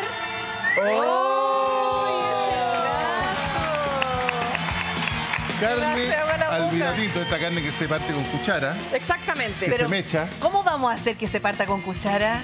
¿sí? ¿Cómo hacerlo? Con Ya, pastelera. De hecho, No, les digo pensé que yo como, que era polenta, pastelera. como, como tenemos que trabajar, les tengo posiciones a todos. Repe, que el rey de la carne en este caso, te dejé acá este maravilloso corte sobre costilla. Maravilloso. Para que termines de cortarlo tú. Le amo la sobre Este cuchillo está afiladísimo, así que está exquisito para cortar. Ya, entonces los ingredientes los vamos, a revisar al tiro. Estos son los Ah. ingredientes para preparar la carne. Lávense las manitos. Ya, ponga atención. Sáquele foto, sáquele foto a esto. Ayúdame, Michelle. Ya, carne un al vino tinto con pastelera. Para la carne necesita Un kilo de sobrecostilla limpia en cubos. dos zanahorias en rodajas, Dos cebollas en pluma gruesa. un pimentón. Una bandeja de champiñones. Ya, y también necesita para esta carne Una taza de vino tinto. un litro de caldo, Dos cucharadas de harina sin polvos, como dice la Canda. aceite para cocinar. Sal, pimienta, orégano o los aliños que Eso. tú quieras. Nos gusta alinear bien las cosas a nosotros. Sí. Ya. Vamos a hacer lo que hay que hacer. ¿Te lavaste la manito? Sí, hay hartos pasos Yo en esta receta, así que eh, lo que les quiero invitar es que estén muy muy atentos y vamos a repetir todo con calma. Está, está afiladísimo, cuidado. Mira. Bueno, el repe lo tengo acá en posición cortando eh, sobre Bacán. costilla. Eh, me gusta la sobrecostilla porque es un corte económico que es muy versátil. Mira qué linda. Sí, la elegí con pinza. Por eso te dejé aquí Mira. este pedacito. Mira. La pasión de repe por la carne. Oye, Cami, ¿por qué una sobrecastilla limpia? No, no- O sea, no le limpia- dejamos, no le limpia dejamos porque- un poquito de grasita, no sé. No, lo que pasa es que la sobrecostilla cuando la compramos viene con, con un poco de eh, tejidos arriba, como unas membranitas. Entonces eso es lo que hay que sacar, pero la grasa y las vetas de grasa están perfectas porque eso es lo que le da sabor a esto. Como ven acá, mi chef Repe está cortando hermosamente estos cortes en cubos todos del mismo tamaño. Oye, eh, oiga, chef, disculpe. ¿Sí? Disculpe por haberla tuteado. Eh, ¿Qué tal está? la vamos a sellar, ¿no es cierto? Sí, la vamos a sellar. Voy a ¿Empecemos a sellar? Ya. Empecemos a sellar mientras yo. Entonces, mientras el repe va cortando la carne, lo que vamos a hacer para dar sabor es sellar. Tenemos hartas que- posiciones hoy día en, en este estudio de cocina. Esto uno lo puede hacer con cuadrados grandes, ¿ah? No, no es, nece- no es necesario que se achique, mire. De todo- de Un buen pedazo puede ser perfectamente. ¿Ah? Y así lo siente más, Sí. más aún. Lo importante es que mientras más, más pequeño es el tamaño del cubo, menos se va a demorar. Mientras más grande, más tiempo se le va a dar. Pero sabrosa va a estar. Y lo que pasa con la sobrecostilla es que, mm, es que no es una carne que cuando uno la abre de la desmecha queda seca. Está Exacto. bien rica por dentro. Entonces, esa es la gracia de la sobrecostilla. Exactiquili. Mientras el repe está cortando acá maravillosamente los cortes de sobrecostilla, eh, vamos a sellar la carne, porque es muy, muy importante, para que tenga saborcito y esté doradita por fuera, ¿ya? Eso es lo primero, así que yo acá estoy calentando una olla con aceite de oliva o aceite normal, bien, bien caliente, para comenzar a sellar la carne de eh, repe. ¿Ya? Oye, ¿saben qué? A mí me gusta que la carne tenga ese tamaño. Porque resulta que si le hiciéramos más chiquitita, es como carne pampana. Claro, porque sea chica. Oye, eh, esto también es muy importante. Fíjese cómo, cómo eh, mi chef tiene cortada la cebolla. Claro. ¿Te fijas? Ah, pero esa cebolla es fácil de cortar. Es fácil de cortar. y Es una cebolla que además nos va a permitir tenerla más presente, más consistente Claro. por la- a la hora de mascar. Es más fácil, como muy bien, bien, bien dice Repe, y al ser gruesa, aguanta toda la cocción. Acá te tocino, por si querían. Pero tirémosle tocino, tirémosle de todo nomás, chef. ¿De aquí para qué? No está en la receta, pero la encontré en mi refrigerador y dije, yo creo que van a estar muy contentos en el estudio si le ponemos tocino. Le vamos a poner tocino en cuadrado de qué porte. Yo lo pondría como el larguito es así. Como, ¿Larguito? Como lardón se llama. Y después lo salteamos y lo ponemos al final. Oye, como para que perdón, perdón la ignorancia. La otra vez, la otra vez Cami, me lo explicaste y no me acuerdo cuál fue la respuesta, pero la- el tocino es lo mismo que la panceta. Eh, el tocino es diferente a la panceta. La panceta tiene más eh, grasa, es más de la panza del tocino. Una parte un poquito más afuera de la panza del Es del más de la guatita. ¿Ah? Es de la guatita. Es, más, es de la panza. Ya. Tiene más, más grasa. A mí me encanta la panceta. Eh, puede ser cualquiera de las dos, la que tengan. Y, y es muy, muy sabrosa. Es rica, más gruesa también la panceta como para una, ¿Y esa es más una barata? pasta. ¿Ah? ¿Es más barata? No, no, Ah. varía, no varía mucho el precio. ¿Se dan cuenta que acá estoy sellando? No sé si se ve Darío. Ay, Darío, ¿estás por ahí? Sí, siempre está ahí. No te pillo. Darío, ahí está. Ahí. ¿Te cuenta que está doradita? sí. Eso tiene que pasar, que esté doradita. Vamos sellando y vamos retirando. Vamos sellando y vamos retirando. Y el repe por mientras está cortando tocino, que en este caso muy bien lo está cortando en una tabla roja, porque es eh, algo que está crudo, no es para vegetales. Y lo vamos a agregar eso al final. Lo salteo un poquito con champiñones. un poco, sí. Y lo agregamos para que quede crunchy, crunchy, crunchy. Para que quede como el... Como el de champiñón. Ya, y, y no hay que olvidar, porque aquí lo hemos aprendido con la Cami Chef, que la técnica del sellado es no echar toda la carne, aquí no, no apuremos el, el ganado flaco. Sí, tal cual. Tiene que Em, ser de a poquito. Es muy importante que sea un sartén bien, bien caliente. ¿Ven que humea? Eso está bien. Sí. La idea es que humea y que haya mucho calor para que se selle y no salga esa agüita gris que salga de la carne. Muchas veces la carne sale una agüita gris y queda como carne hervía. Claro. No quiero que quede carne hervía. Entonces, esta técnica la aplican igual que cuando hacen un bistec. Cuando hacen un bistec en la casa, lo mismo, sartén grande, amplio, mucho espacio para ir sellando. Listo el tocino, chef. Muy bien, Repe. Ahora, ¿con qué más vamos? ¿Los champiñones los va a tirar así entero? Sí, Oye, qué- la tabla de madera. Estos son Eh, eh, con champiñones ostra, ¿o no? Pásame ¿Ah? esa tabla de carne. Por favor. Gracias, Aquí, Michelle. aquí todos ayudamos. Sí. ¿Qué vas a hacer para ocupar esto? Todos, me parece Ya. mucho. No, oye, tenía tantas ganas de comer comida con sabores de nuestros aliños chilenos. Qué Esto es rico, muy, muy eh. rico. Cuidado. Oye, espérate, ya, voy a ocupar este cuchillo. ¿Y cómo corto los champiñones? Mira qué linda. Sí, encontré esto también en mi Qué refrigerador. lindos los champiñones. Lindo. Muy lindo. los Qué grande. En la Vega pueden encontrar champiñones de distintos tipos. Estos son unos, unos portobelos. Qué Hermoso. lindo, Están preciosos. Ya, ¿cómo lo vamos a cortar? ¿Así? Pa, pa, pa. En delgadito, trozos eh, más gruesos para que sea carnoso. Grueso, ya. Como uno en esto y por ejemplo esto como en ocho, como, Oh, chac, como más gruesito. Hoy día hay harta pega, chiquillo. Como diga el uno. Harta Sí. pega para hacer. Oye, y ojo que la carne al momento de probarla la vamos primero a tener Dale, que humo. cortar con la cuchara. Sí, po. Of course. Esa es la prueba de fuego antes de echarla a la boca. Hay que dejarla, hay que dejarla un buen buen rato. Acá hay- obviamente que traje una lista, pero si alcanzamos, cuando esté lista la mostramos la que también hicimos para que vean que se corta con cuchara. Oye, Janet Jara, eh, la ganadora de tu, de día Chin Chin. ¿Ya? Qué lástima que era de tan lejos, podría haber estado aquí Ay, probando. Podría haber venido a probar. po. Sí. ¿De, dónde, de dónde era? Sí, De Janet, Iquique. Janet Jara se llama igual que la ministra de pues, Trabajo. Era de Iquique. ¿Era Iquique? Sí. Hoy con un millón de pesos. Todavía tiene la sonrisa aquí. Yo ya me había ido, pero me contaron que dijo que quería que hubiera estado, Sí. que hubiera estado cocinando. Qué linda. Un besito, muchas cocinar. Gracias. mandamos muchos cariños. Muchas gracias. Sí, yo también lo extrañé el viernes, pero así es nomás. No se preocupen. Ya. La Cami Chef Estoy sellando. está sellando la sobrecostilla que limpió y dejó pero preciosa, un corte barato, eh, un corte muy versátil, se puede hacer a la parrilla, se puede hacer a la cacerola, se puede hacer al horno.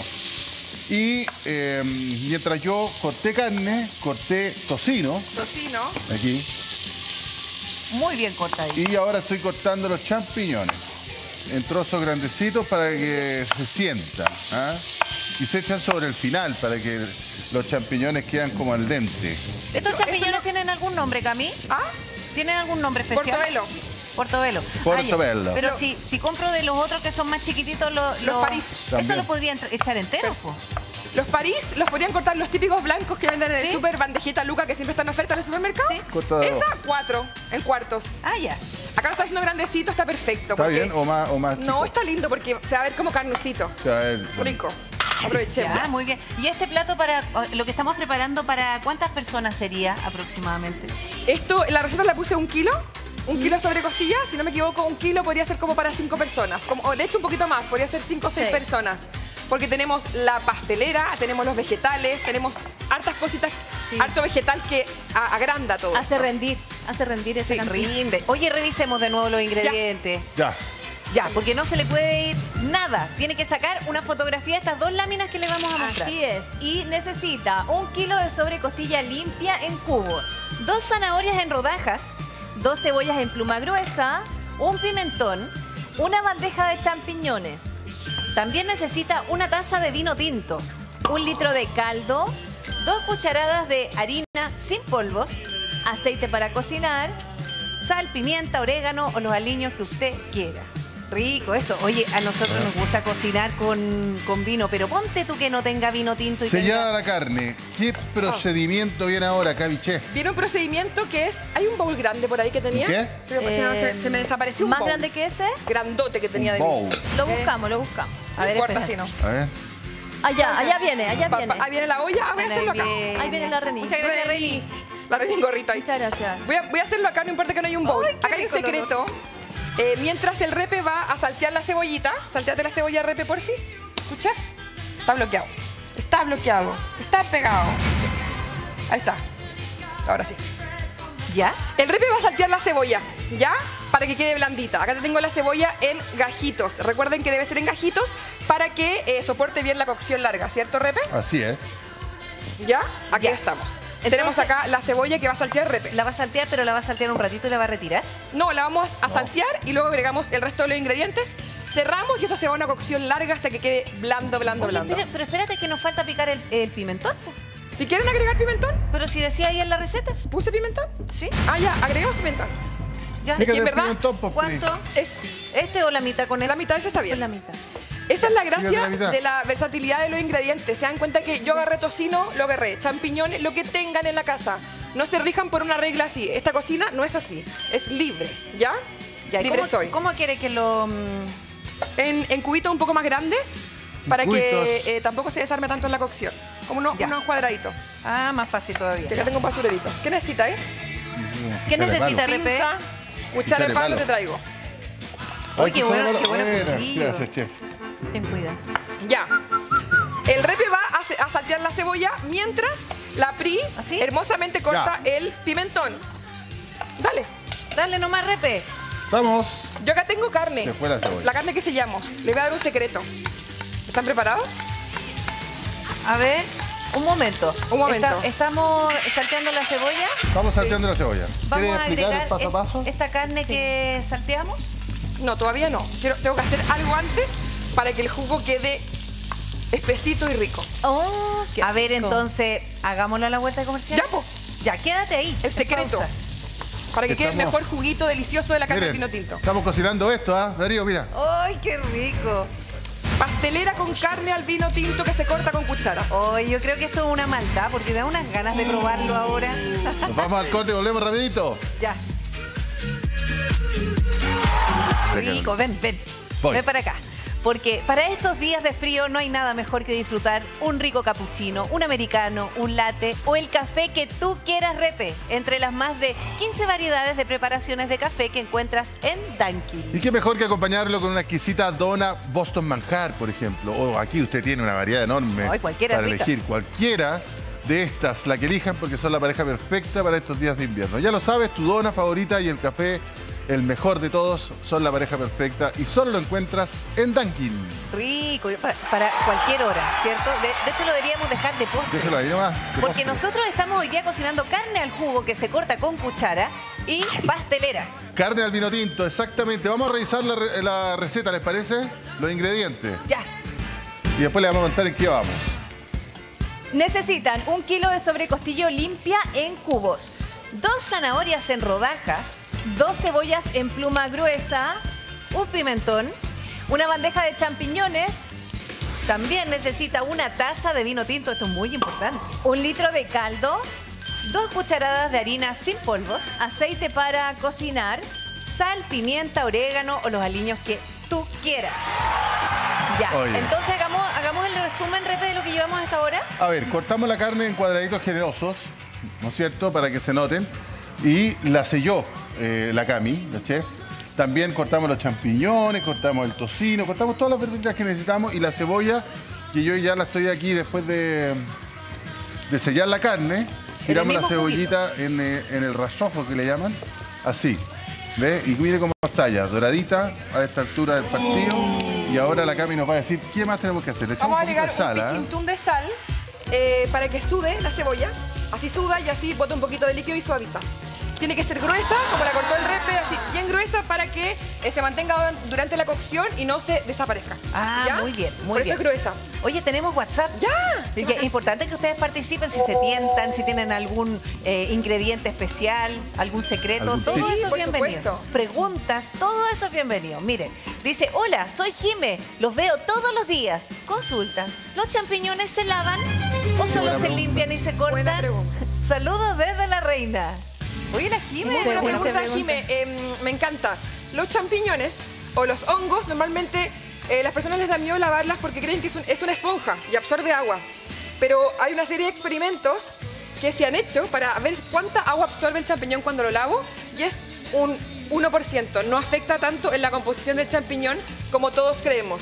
A mí me gusta, en lo particular, cuando tienen un poquito de tierra, pasarle un papel absorbente húmedo y sacarlo. Si lo compras en el súper, si lo compras en la vega o a granel, mójalos en agua, los cuelas bien y luego, sí o sí, secarlos muy, muy bien para su cocción. Ah. Pero se pueden lavar, no hay problema. Hay gente que dice que absorben mucha agua, pero en verdad se han hecho estudios y no pasa nada. Es un pichintún de agua que se le agrega por la tranquilidad de que estén 100% limpios. Ya, muy bien.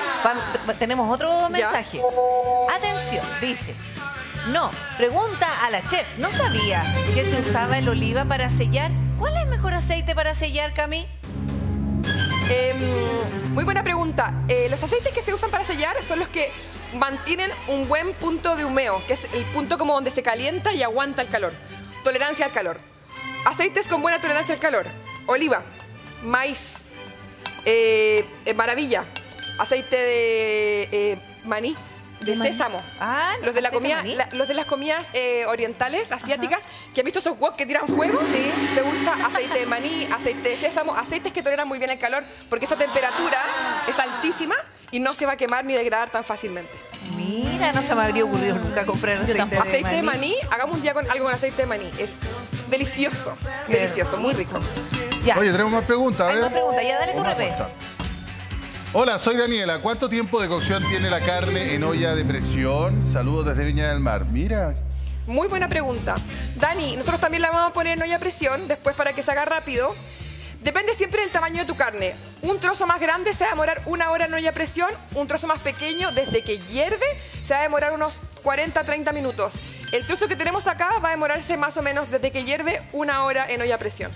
Y funciona perfecto. Ya. Se corta con cuchara. Si no tienen olla a presión, fuego bajito. Fuego Ya. bajito, hervor lento para que no se rompa la Siempre carne. tapada. Y tapadita para que eh, los, los sabores se concentren y quede tierna, tierna, tierna. Ya, muy bien, tenemos otro mensaje. Me encanta. Sí, ponga atención. Dice, amo la carne al jugo con pastelera. Fue mi plato estrella la Navidad pasada Ay, qué rico. para recibir a mi suegra y mi cuñada. Ay, ¿qué tal? Ahora mejoraré la técnica con la receta de Cami. Sobre todo porque amé cómo la presentó en plato hondo con la carne en el centro. Muy, muy Oye, bonito. Sí, el emplatado estuvo bien bonito. Les, les tengo un, un secreto muy, muy bueno que, que nosotros hacíamos. Yo tenía una banquetera. ¿Ya? Y siempre los novios, los matrimonios me decían, Cami, queremos filete. Filete con pastelera. O típico, filete Sí, con... rico. Y yo les decía, por favor, no hagamos filete. Por favor, déjame hacerte una carne así que te va a prometer. Temperatura perfecta. No se va a pasar el punto. No se va a secar y va a estar a siempre rica. Ay, ya, decidiste ¿y ahora qué, qué vamos a hacer? Vamos con el secreto que ¿El estamos secreto? esperando. Para que la carne quede eh, deliciosa, eh, con una buena textura del jugo, lo que hago es antes de agregarla a la olla de vuelta, La donde la tiene el sellada. Tenemos la carne, miren qué precioso el sellado. No, una caramelización perfecta. Uy, yo me la comería así, pero A ver, mira, mientras la Cami nos muestra este secreto, que yo estoy muy intrigado, pero ya sé para dónde va, Arte, arte, más o menos, más o menos. Eh, le contamos que sellamos la, cortamos la sobrecostilla en cuadraditos generosos, como se ve ahí en la imagen. Además, la sellamos, además salteamos la cebolla, miren cómo está, ya está ya está lista. Yo la saqué un poquito del fuego Está porque perfecta. me da la sensación de que se nos puede pasar de más. No, está perfecto. ¿Está bien? Está translúcida, no dorada. Está. Perfecto, Llega el momento del secreto. Este Ya. es el secreto que yo hago, que lo que hago es que le agrego un poco de harina a la, a la carne A la ya carne. sellada. A la carne ya sellada. Y eso le da el espesor. Y van a ver que el jugo que va a salir es súper tierno, es súper suave, eh, rico pero denso, no es agua. Es un juguito como más para salsear, una salsita. ¿Y cuánta harina? Porque Yo le agrego al ojo, pero serán unas 4 cucharadas, 5 cucharadas por kilo de carne. ¿Qué es lo que me interesa? Estoy mezclando, ¿se dan cuenta? Para que esta carne se adhiera, o sea, para que la harina se adhiera a la carne y no se formen grumos. Así va a quedar perfecto y esto va a generar espesor y una salsa increíble de mi carne. Cami, tengo una pregunta. Una más. Cuéntame. Harina y tengo maicena, ¿le puedo agregar maicena? Absolutamente. Ah, y con esa cara. Sí, linda, absolutamente. Se puede agregar maicena, no hay problema. Oye, Pero- pero si estamos haciendo carne, ¿qué importa que tenga polvos de hornear? Si tengo una harina con Oh, polvos de hornear mira. en la casa. Sí, puede ser. Pueden Fíjense agregarle... la- cómo como- quedó esto. Yo como, eh, como, como pegadita. Sí. Esto es mejor para que no se hagan grumitos. ¿Qué Vas a dar cuenta que va a quedar una salsa increíble después. Se nota que la carne absorbió la harina. Claro, se pegó. Se pegó y se formó como una masita alrededor. Esto es un secreto. Oye, buen si quieren lo hacen, secreto. si quieren no, pero les juro que queda una salsa exquisita con una textura grandiosa. Y esto reemplaza, por ejemplo, que yo le echaba maicena. Claro. Pero, pero ¿sabes qué? Yo le echaba un poquito de maicena en una, alguna otra oportunidad para que se me espesara mi caldo, pero después cuando ya estaba todo cocinado. Sí. Entonces se me formaba grumo. Se va a formar grumos y la otra es que ni siquiera se va a sentir esto. O sea, va a ser como una salsita que es un todo. No se va a sentir como la salsa parte de la carne. Van a ver que va a estar todo muy, muy integrado. Porque a veces como que la carne flota en una salsa que no es de ella. Acá va a estar como... van a ser uno. razón. Es un poema. un poco. Ya. Oye, Que aquí- la, la carne empieza a salir jugo antes o después que uno le eche la sal? La carne... la sal, como uno echa la sal a la carne y la carne se, se vuelve más jugosa, ¿puede ser o no? La sal lo que hace es que deshidra- deshidrata la carne y genera que salgan jugos. En este caso no hemos echado sal, nada de sal todavía. Ahora voy a sazonar con un poco de aliños, agregar un poquito de sal y después rectificar al final porque si no va a quedar súper salada. Ah, ¿y eso qué es lo que es? A ver. Le echo un poquito de eh, pimienta, un poquito de, mm, si quiero, orégano, ají color, lo que tengan en la casa. ¡Ay, qué Ají rico! ¿Y el, ese qué era? ¿Comino? Me parece que era un poquitín de comino, ¿sí? Mira, Ya, ni ¿Y siquiera- orégano? ¿Echémosle orégano? Orégano también, por supuesto. Yo le echaría un poquitito más de comino, como que te apretaste con el comino. Es que no bueno el comino. A mí me encanta el comino. Bueno, acá tengo la carne. Y ahora va una parte muy, muy importante, que es la que más nos gusta. Si es que quieren, lo hacen o pueden hacerlo sin vino. No, pero lo podemos tomar a esta hora. pues. No, no está permitido para el horario. Sí, pues, sí. Ya, pero es para el Saca-. Ah, para saquémosle el alcohol entonces. El lunes. Dale acá. A ver. Esta es la clave del éxito. Y Esta es la clave para que se corte con echamos- Claro, un poquito menos de eso, como no todo el carro. Como si fuera una taza. Esto es como más de una taza. A ver, dale un poquito ¿Hasta dónde? Un poquito más, hasta la mitad. ¿Pero se tiene que tapar la carne? Es que después No vamos a agregar otra cosita. No todavía, no todavía, no te apures. Tranquileño, güey. Aquí paso a paso, mira, ahora estamos. Oh. ¡Oye, qué rico! La idea es que eh, va a quedar un, un jugo bien, bien oscuro. Si ven en el plato del montaje, está una carne bien, bien oscura, pero el sabor lo vale. Oye, Queda pero muy, ya muy empezó, rico. ya empezó el jugo. ¿Ya empezó, viste? Magia. A ver, Magia. Mira, a ver, córrete para allá. A ver. Se empezó al tiro. ¿Y hay grumos? no. Nada. Ninguno. Ningún grumo. Oye, pero ay, yo creo que le falta más caldo o algo. Sí, vamos a agregarle caldo. Le vamos a agregar caldo. Le agregamos el vino para que eh, se caliente, se integre bien. Y se impregne. Si quiero eh, que se evapore bien, por ejemplo, si tengo niños en la casa, pueden dejarlo un rato abierto para que hierva un montón con vino. Le ponen más si quieren o un poquito de caldo, pero que hierva, hierva, hierva. Cami, esto en rigor se puede hacer con cualquier carne, ¿no? Con cualquier carne. Con Guachalomo, tapapecho, eh, cual- eh, pollo Aunque ganso, usted diga, oh, esta que esta es media duranga, igual. Sí, con olla a presión va, va a funcionar. O con olla Como la baji- idea esta, pero a- más tiempo de harto, harto cocción. tiempo. Claro. Hierva, eh, como que hierva constantemente, ebullición constante, pero eh, que no, se- no sea tan fuerte para que no rompa la carne. Y es y es súper importante también una cuestión, ¿eh? Eh, Echémosle caldo porque se nos va a pegar abajo. Mira. Echémosle. Ahora va el caldo. Mira, ¿viste? Échale nomás. Yo le voy a echar la agüita porque Oh. tenía el caldo bien concentrado. y ese caldo eh, puede ser agua también, ¿no? Puede ser agua, puede ser el caldo galuga, puede ser el sobrecito, lo que tengan en la casa. Un caldo de verdura, ¿se acuerdan que hicimos caldo de verdura? Sí. Caldo de pollo, Caldo de pollo. el que quieran. Mira, Voy a ah, ponerle- pero ese de caluga sirve el concentrado. Sí, absolutamente. El concentrado. Cuando lo único que tienen que tener ojo con las calugas o con los concentrados, que al final, como son un poco salados, es bajar la cantidad de sal. Pero Ah, tampoco claro. son tan salados y son bastante sabrosos. Como que yo apaño que la gente si tiene eso en la casa que lo use. Úselo, señora. Estupendo, pues, me encantó. ¿Y las verduritas? Las verduras que faltan las vamos a agregar ahora. Eso. Da lo mismo que estas no se sellen porque es zanahoria. El pimentón lo podríamos haber salteado un poquito. Pero esto con la cocción y todo va a tomar una textura deliciosa. Se va a ir a hervir. Y lo que hice es agregarle un poquito de sal, no tanta.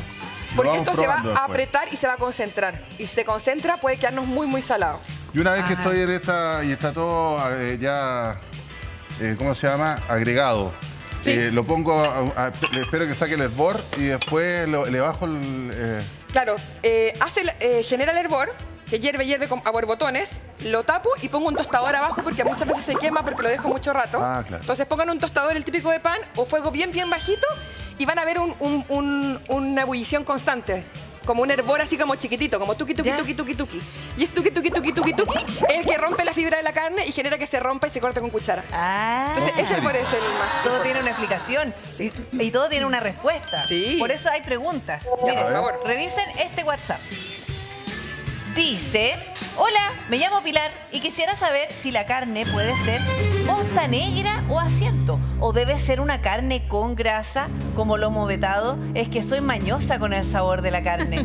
ah, es que hay mucha gente que Sí, es sí. cierto. Yo me siento bien tincada con la identificada, carne. Sí, ¿viste? Sí, es, ¿Cómo la es- Michelle? y es muy bueno aprender de eso de las carnes, porque al final les damos el mejor uso y las, las comemos de la mejor manera. En este caso te recomiendo una carne con grasa, no necesariamente un lomo vetado, que es bastante caro. es caro. Podéis usar un tapapecho, un tapabarriga o un eh, guachalomo. La ¿Cuál, cuál es el que estamos usando O aquí? la me olvidó. sobrecostilla. Oye, Este es ¿sabes Y el pollo ganso. Yo es mi esta, carne la he hecho hasta con abastero. ¿Sí? Abastero. Camilla, ¿el pollo ganso puede ser? Sí, podrían darle la vuelta a la típica, la típica carne mechada y hacerla con es- en esta forma y después la cortan y tienen esta salsita al vino deliciosa. Perfectamente. El asiento y la posta negra la recomiendo para charquicán, para carbonada, pero no para una cocción tan larga, prolongada, en que quiero que en verdad la, car- la carne se corte con cuchara. Porque tiene estas vetitas. Entonces eso es lo que eh, Ah, ayuda, mira. las vetitas de este tipo de carne. Con un choclillo, una punta picana, una punta de ganso. cualquier- Lo que sea. Ya, mira, tenemos otro mensaje. Atención con esto. Dice, hola chicos, Cami, ¿y si le pongo vino blanco, cambia ese Qué sabor? buena pregunta. Sí, porque de repente ponte tú que tenga un conchito de vino blanco y no de vino tinto en el refri. Eh, ¿Saben qué? Es súper buena idea. Pueden hacerlo no al vino tinto, sino que al jugo. El vino blanco va a aportar el sabor absolutamente. De hecho, acá les tengo un tip. Cuando a mí me quedan conchitos de champaña, que se fue el gas, y los tengo para cocinar, muchas veces los agrego al pollito, porque al final es vino blanco espumado, espumoso, con gas. Entonces, si le va el gas, no lo boten y lo pueden usar para levantar y elevar alguna preparación que tengan en la casa. Y si me apuráis un poco, un, eh, una botella de chela de esa de litro que quedó la mitad. también, lo que queda, las cervezas que lata. quedan, del asado del domingo. Sí, po. O sea, lo que no están chupeteadas, po. Pero la que. La... No los picoteados, no los picoteados. Pero. Pero si les queda. Bigoteados, no. No, nada- nada no se pierde. bigoteados. Nada se Ya pierde. repasemos los ingredientes. Ya. No deberíamos Michelle, estar haciendo el... Vamos a ver, necesitamos un kilo de sobrecostilla limpia en cubos y todas las opciones que nos dio la Cami recién. Dos zanahorias en rodajas, Dos cebollas en pluma gruesa. un pimentón, Una bandeja de champiñones. necesita una taza de vino tinto o como dijo la Cami también vino blanco, espumante que se le va el gas, todo eso sirve. Todo sirve. Una, un litro de caldo. Dos cucharadas de harina sin polvos, Aceite para cocinar. Sal, pimienta, orégano o los aliños que tú quieras. Aquí también le echamos eh, ají de color. Ya estamos sacando el hervor, ¿eh? Oh, Sí. que se ve ¿Y esto lo vamos a hacer en olla tradicional o lo Ahora me vamos van a traer una ollita a presión.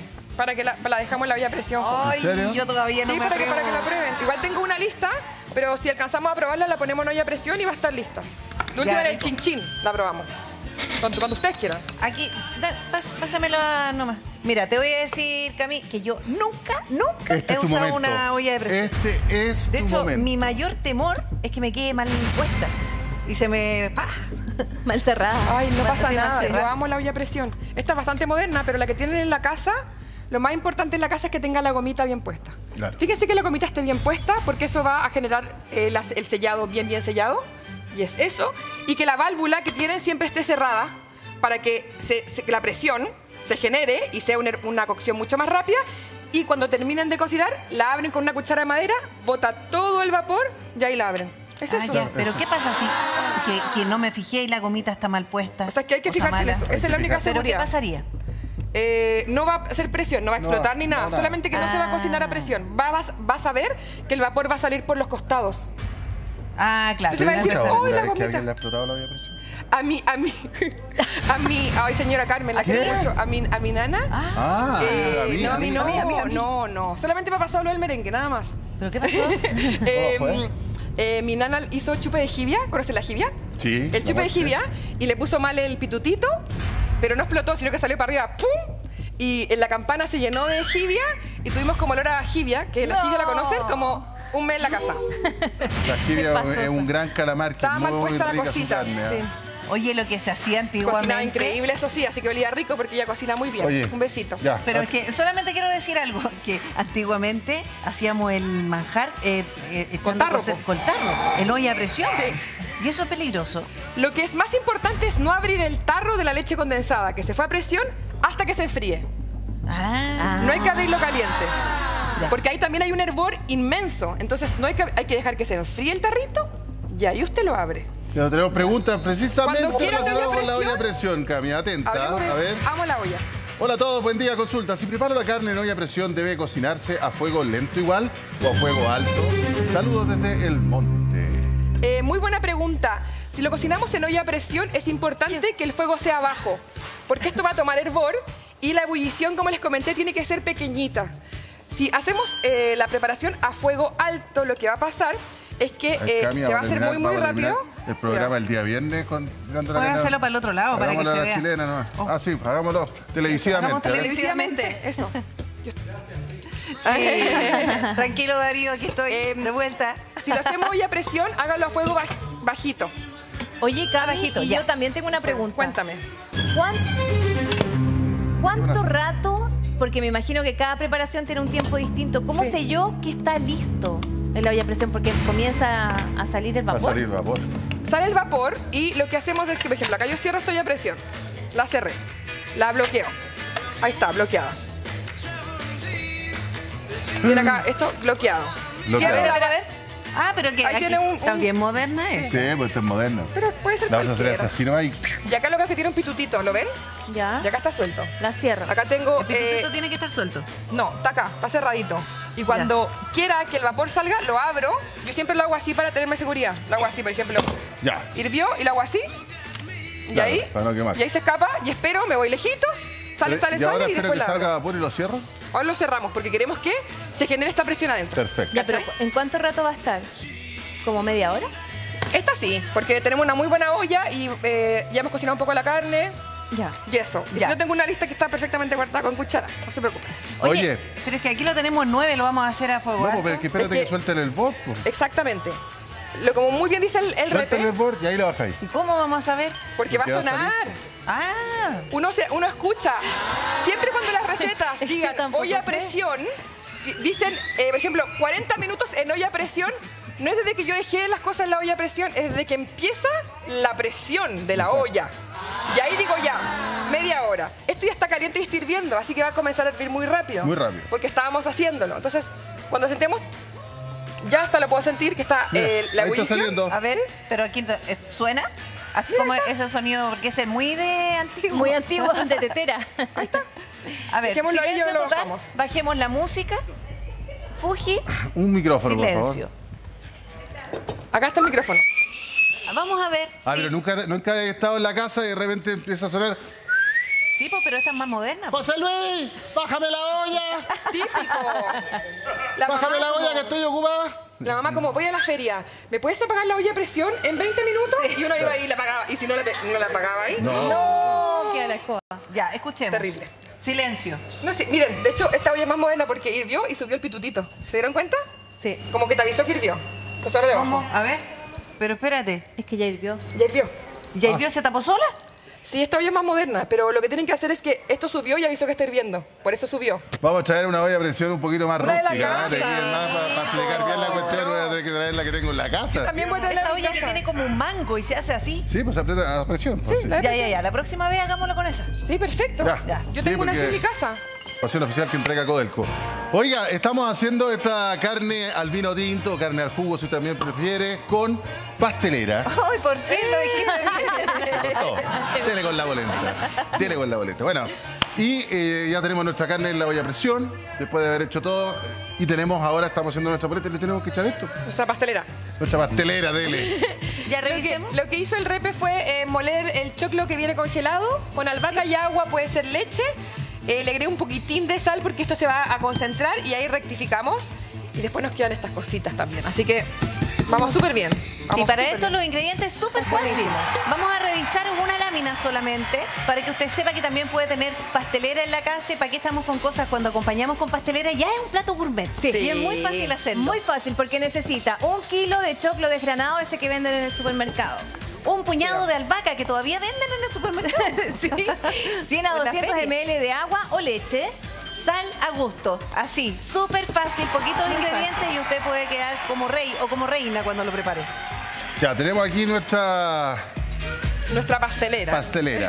Oye, la pastelera, eh, yo me imagino que ahora tenemos que ponerle enjundia. Sí. Vamos a, a revolver un poquito para que se cocine. Lo bueno es que el choclo congelado ya viene como precocido, entonces Sí, no po. se demora tanto como con el choclo crudo. Y lo importante es que ir revolviéndola, pero no a fuego tan fuerte, porque cuando la pastelera hierve, tiene unos borbotones medio, medio pesados. Y si te, si te quemáis con pastelera como es denso, eh, hay que tener un poco de Duele. ojo. sí. Puede terminar con una Duele. pollita. Duele, duele. Así Con que ahí vamos polla. revolviendo. Hay que revolver. Oye, tengo una duda, ¿y esta mantequilla? Eh, me gusta agregarle la pastelera mantequilla. Como un poquito para que se agregue. ¿Quieres agregarle un poquito? sí, pero esto no aparecía en los ingredientes. No, estas son cosas que eh, se me ocurren a mí como cuando estoy metiendo las cosas en la mañana. Digo como, tengo champiñones, tengo no sé qué. Yo doy la receta base, queridos y queridas. Y ustedes si quieren agregarle, por ejemplo, querían agregarle leche, a mí no me gusta agregarle tanto leche, me gusta agregarle un poquito de mantequilla. Me gusta la idea de la Si mantequilla. tienen pimentón, si no tienen zanahoria y tienen solamente cebolla y pimentón, hagan su carne con cebolla y pimentón. Cami, y si le queremos agregar azúcar, ¿Azúcar? podemos. Se puede, pero mira, prueba la pastelera. Ven a. ¿Pero cómo ya está lista? No, no está tan lista, pero pruébala para cachar que en verdad el choclo basalmente es dulce. Exacto, Es como tiene un dulzor. exacto. Vamos. Dale, está rico. Tiene razón. Sí, po. ¿Viste? ¿Está dulce? Está como dulce. dulzona. Ah, será por el choclo. en- No en- necesita azúcar. Oye, yo también tengo preguntas para la Cami, pero vamos a revisar WhatsApp que nos envían nuestros queridos amigos. Qué bueno que manden WhatsApp nomás. Hola, me llamo Patricia. Mi pregunta es, ¿por qué sacaste la carne después de, la, de sellarla en la olla si después vas a devolverla de nuevo? ¿No se puede preparar todo de una vez en la olla a presión? Besitos a todos. Oh, Patricia, te vamos a explicar de nuevo lo que hemos aquí tratado de entregar. Es un detalle, un pequeño detalle que hace la diferencia, ¿cierto, Cami? Sí, perfecto. Ya, cuéntale por qué. Eh, lo que pasa, Patricia, es que lo que hicimos primero fue calentar la olla y sellar solo la carne. La retiramos, ¿ya? La retiramos luego de que está doradita por fuera, solamente sellada. Y traemos la cebolla a el- a la- al fondo de la olla para levantar el sabor de la caramelización y para que se cocine correctamente. Si nosotros metemos muchas cosas a la olla, lo que hacemos es no generar caramelización ni dorado, sino que hacemos que hiervan las cosas. Claro, y la, la carne se cuece. Y es mucho más rica las cosas doraditas que hervidas. Entonces queremos también que la cebolla sude y, se- y- y levante ese sabor y no se hierva, sino que se dore un poquito y bote un poquito su, su sabor fuerte para que quede tierna y deliciosa. Esa es la razón.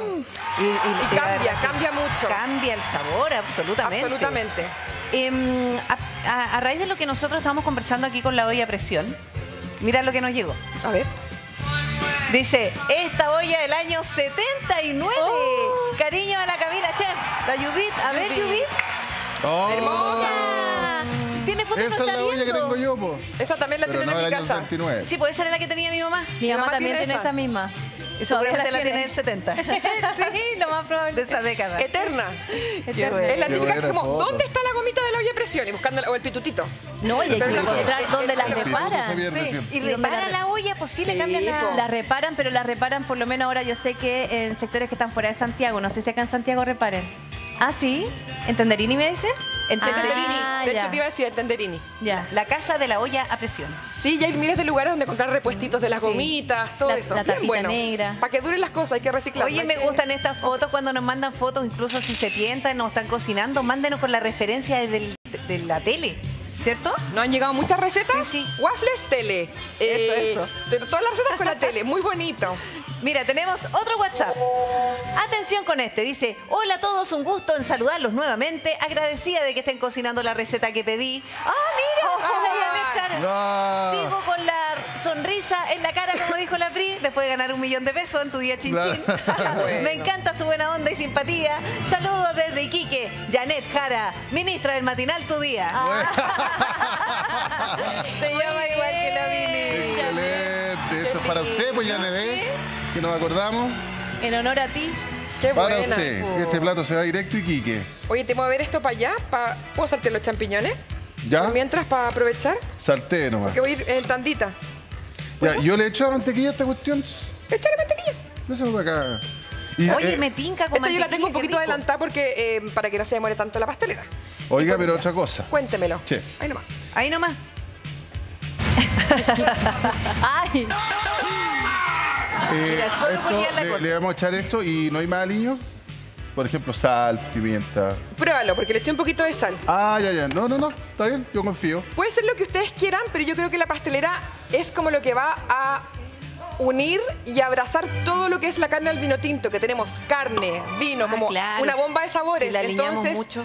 tiene que ser un, un acompañamiento más, más plano. Más neutro. Es- Esto es muy rico, es dulzón, tiene sabor a choclo y albahaca, pero no le pondría ni picante, ni ajo, ni nada de esas cosas porque creo que como que va a opacar la maravillosa cosa que estamos haciendo en esta ollita.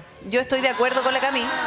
Muchas veces mejor, queda bien con puré, por ejemplo. Esta carne con puré Sí, po. también O queda arroz muy, muy bien. Arroz blanco, eh, papitas doradas o algo que Claro. sea como, como medio como eh, pastosito. Ya. Entonces, ahora vamos a, a saltear los champiñones. Lo único que no echamos a la olla fueron los Voy a champiñones. saltear los champiñones un poquito y un poquito de, mm, de, de panceta, si es que quiero tocino.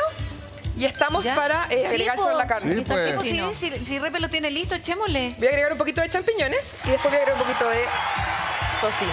Ya, mientras aquí salteamos entonces los champiñones y el, el tocino también. ¿Sí? Lo voy a agregar. Ya, Agregar un poquito al ladito para que salga. Toma, Repe. Ahí, Ya, no, eh, hay, Sí, hay otro está perfecto. ¿Ahí nomás? Sí, Sí, vamos de a poquito, Ah, pasito a pasito. Pasito pasito. Atención, tenemos otro WhatsApp. Hola, buen día. No tengo albahaca. ¿Sirve la que venden en supermercado deshidratada? Mi nombre es Marcela. Oye, buena pregunta, Marcela. En algún minuto lo pensé y no hice la pregunta, fíjate.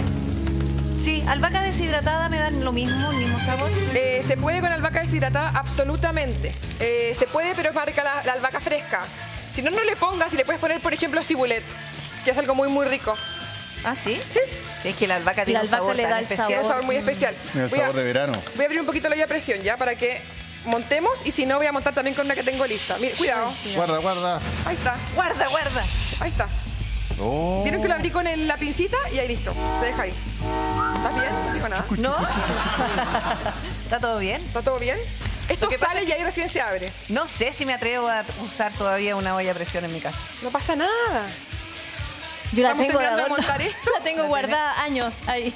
Repe, Te prueba la la pastelera. Porque yo la tengo, la tenía un poquito adelantada de antes, pero pruébala. Ya estamos. ¿Se entendió bien? Yo creo que en la casa se entendió bien la receta, ¿no? Súper. ¿Sí? exquisita la pastelera. Súper bien. Más de alguien debe estar tentado con esto, cocinando. Qué, qué rico, Qué ¿cierto? rico. Bien, acá tengo un poquito de tocino que lo voy a saltear. Yo tengo una carne hecha de antes que le voy a agregar un poquito de juguito para montar para que esté perfecta. Ya, mientras hacemos eso, porque nos falta saltear más champiñones. ¿Sí? Démosle tiempo. Démosle tiempo. Ya, mientras sigamos salteando todo, vamos a una pausa Ya. y volvemos porque vamos a montar este plato exquisito. Ya, ¿qué hemos hecho hasta ahora? Ya, dale. Sellamos la carne, Sí. dejamos la, la cebolla, después sacamos la carne una vez sellada, ¿no es cierto? Y después con la cebollita le dimos ese toque hasta que quede translúcida, ¿cierto? Perfecto. Posteriormente a eso, en un bol, la carne, la Cami le echó harina. Unas dos, tres cucharaditas Pero de gran harina secreto. para que efectivamente eh, se se transforme como una especie de amalgama toda esa cuestión, que, que penetre bien, una especie de Exactamente.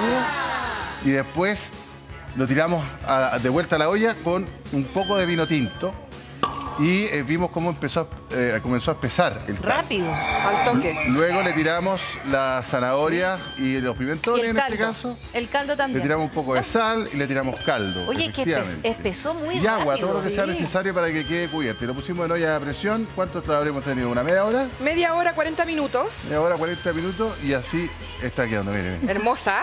Está rica. Está blandita. Huele exquisito. Ahora hay que rectificar, Repe.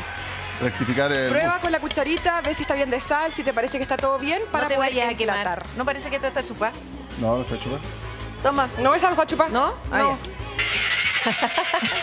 No, acá tenemos miles de cucharas.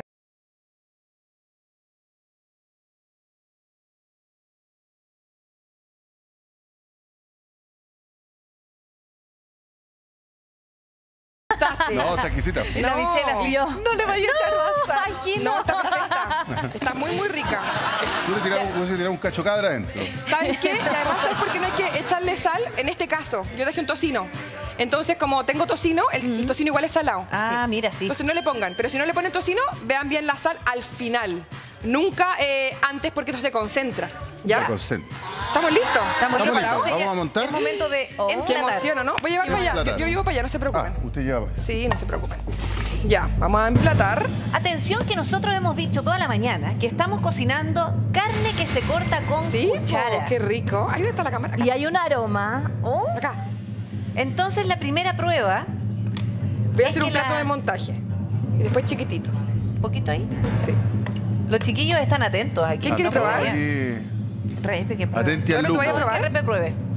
Repe, vas a ser el encargado de, pro- de probar. Primero tienes No, no, no. Lo primero, Yo siempre soy el que ando probando. Aquí va a probar. Usted, usted. Y aquí tenemos un público que está muy ansioso por probar. ¡ay, que Así están que, felices, por favor. chiquillas! Miren. Pero primero tenemos que hacer la prueba de si efectivamente la Ah, carne po. se corta con cuchara. Lo Absolutamente. vamos a hacer al tiro. Hagámoslo al ¿Con, tiro. ¿Con cuchara de palo o con cuchara de, Mira, voy a sacar un pedacito. de, de cubierto? Mira, ¿están preparados? Sí. Repe, Sí. ¿la puedo poner acá en la tabla? Ya, Póngala Repe, haz la prueba. Dale, Repe. ¿Le sacaron filo a la cuchara? Le sacamos fila. de comerciales.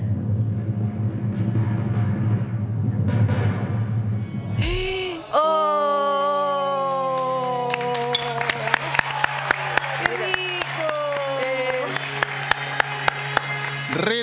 Prueba superada. La carne se corta. Mire cómo se corta, Miren, por favor. Qué para los niños, para los niños en la casa, chiquititos que no les gusta la carne dura, bueno, esta carnecita Maravilloso. Y, está, y miren, miren, por favor. porque está jugosita por dentro. Eso Está es lo jugosa. importante. No es que está recocida ni nada por el estilo, está jugosa. Sí, Le perfecto. cae el jugo. No, si está a la muerte. Ya. Emplatemos. Para empatar, eh, para emplatar, pongan la pastelera si quieren montarla así. Yo hago siempre como un agujero al centro para darle espacio acá. Para que no, para más que no, carne, para para que quepa carne. bien. Y luego, sin juguito primero, porque eso está bien jugoso. Ah, sin juguito. primero. Acá voy, bueno, pongo un juguito Ay, igual. pero qué rico! Pero el juguito está bien espesito y si lo dejan más en la olla destapada, más va a espesar el caldo, ¿se entiende? Ya. Tienen que dejarlo, si quieren más espesito, con la olla destapada una vez listo, para que... Y ahora va esto, que es muy rico también, miren. Esto es el toque ahí como... Ah, no lo agregaste a la carne. No, porque se ve, se ve lindo afuera, porque si no estaría cubierto con el jugo. Qué rico. De hecho, lo, lo agregué también al, de allá, para que se vea más bonito. Uy, qué rico. el tocino con los champiñones Mira los champiñones, qué maravilla. Doraditos, doraditos a fuego fuerte, para que no boten agüita, acuérdense. Miren. Y un toquecito verde le ponemos. Ya. Por ¿Qué es siempre. eso? Un perejil Sí, crespo sí. que encontré en el supermercado, que es muy bonito. Ese que, el que queda en el diente. Ese que queda en el diente. Perejil crespo, El sexy. el que tenga cibulet, orégano, lo que quieran. Miren qué Un rico. verde, un verde. Un verde. Eso. ¡Ay, Ya. qué hermoso! Mira la carnecita. ¿Dónde se tenemos corta. lo- lo- la, la cuchara para que eh, Están aquí, están aquí, aquí, aquí. Hemos usado tantas cucharas que no sé si nos quedan, pero voy a quedan. intentarlo. Cuchara, cuchara, cuchara. No, pues si aquí está. Hay tenedores, Ya, pero pueden pues, tenedor, Ya sabemos lo mismo. Sí, ya, ya, ya hicimos la prueba. Sí, de hecho voy a ocupar un tenedor. Ya. Qué bacán. No emitan ningún Ah, comentario. verdad, no vi. Es mío. Este tenedor es mío. Perdón, ¿estás concentrada? Estoy ansiosa. Llegó con hambre, ah, parece que no te dieron mucho de comer allá. ¿eh? Había que ahorrar. Es, es tu, es tu eh, receta de bienvenida, Pri. Con todo nuestro cariño. Sople, ah, No me- sople. Ya, ahora sí. Sopla, ¿Sin poner sopla. cara? No te vaya a quemar, Pri. No emitas ninguna opinión. Que tu cara no delate nada. Cuesta. Michelle. Cuesta que la cara no delate nada. Con una cuchara limpia, sacamos otro. No tengo. Vengan, vengan, vengan, vengan, vengan. Venga, Pónganse aquí al cuchara. tiro para que se pongan a la cuchara. fila. Me está muy grande, encanta, pero- chiquillas. Qué bueno que vinieron. Ay, qué rico. Llegó hasta la eso. Reni. Mi asistente de cocina. Michelle. Es muy grande. Mi asistente de cocina. Es muy grande. la- la yo tenía media hambre. cuchara. Espérate que mucho. Yo no era la única que tenía hambre. Hiciste la media cuchara. Voy a servir.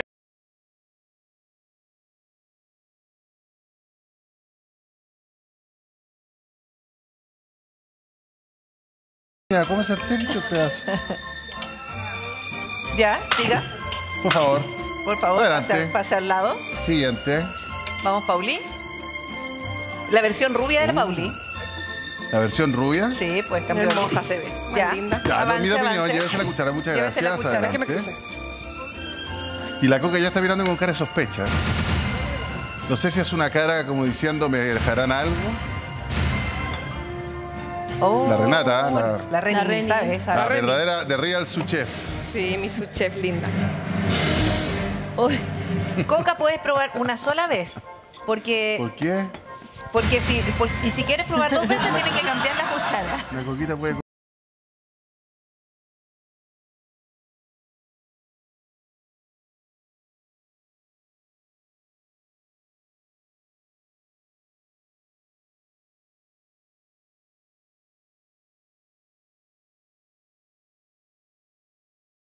mejor Coca. Ay, la ese. repe- a, la, a, la, a la coca le encanta generar esto. Le salió toda la carne. Ah, la Coca tenía hambre. La coca, Coca, tenía- aléjate del plato.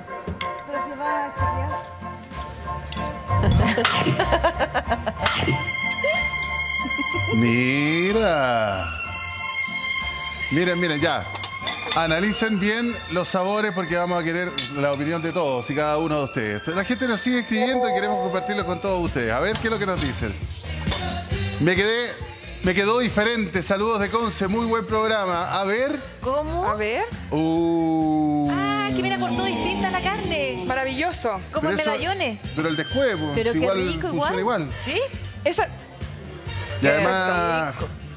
Se ve exquisito eso por Mira, arroz. mi pastelera. Soy Patricia de Puente Alto. Saludos. A ver, Patricia. A ver la Patricia. ¡Ay, Esa, qué qué rico. Excelente, Pati. Me tinca que le echaste leche. ¿eh? sí, no se ve más se lechita, ve más leche. blanquita. Qué bonita, se ve rica. Llorar tan vaca. Te vas a lucir, mujer. A ver. Mi hermoso también lo logró. Saludos, Repe Pri, Michelle, Cami. ¿Su hermoso? A ver. a ver. A ver, a ver, a ver. Ah, a no. ver. Oye, pero A qué ver. rapidez. A ver, ya, ya, ya, ya, ya. No, ya lo vamos a ver, ya lo vamos a ver. Ver apuesto al que se cortaba con cuchara hermoso. Ahí sí. ver- Eso. Mira qué lindo el caldo expreso. Excelente. El caldo también le quedó espesito, Cami. Pero espérate, ahí está la carne. ¿Va a ser la, la prueba? A ver. Este dedo. La prueba. Mira Oh. cómo se quería lograrlo otra vez, porque no pasó, ¿cachai? Cállate, se deshace. Se desarma sola. Perfecto. ¡Excelente! ¿Para qué te cuento el sabor? ¿Para qué te cuento el Mira. sabor? Dice. Mira. A ver, escuchemos lo que dice.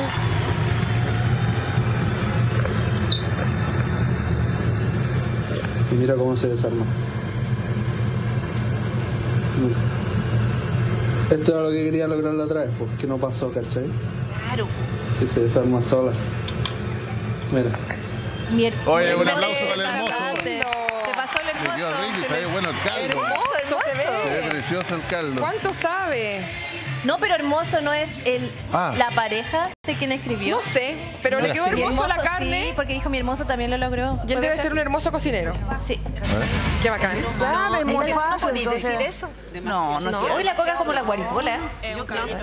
A ver, Ya, eh, la coca va a hablar en nombre de todas. están deliberando. ¿Hay algún un vocero aquí? ¿Vocera? La Pauli. Ya, Pauli. Mi percepción. Con honestidad. ¿eh? Percepción. ¿Y la de, y de honestidad. tus compañeras también? ¿Sí? En nombre de todas. que la carne ni siquiera había que masticarla porque se deshizo sola. y al fondo de la carne se sentía el sabor del choclo con el vino tinto. Y estaba perfecta. Muy bien. Extraordinario. Cami Chef lo hizo de nuevo.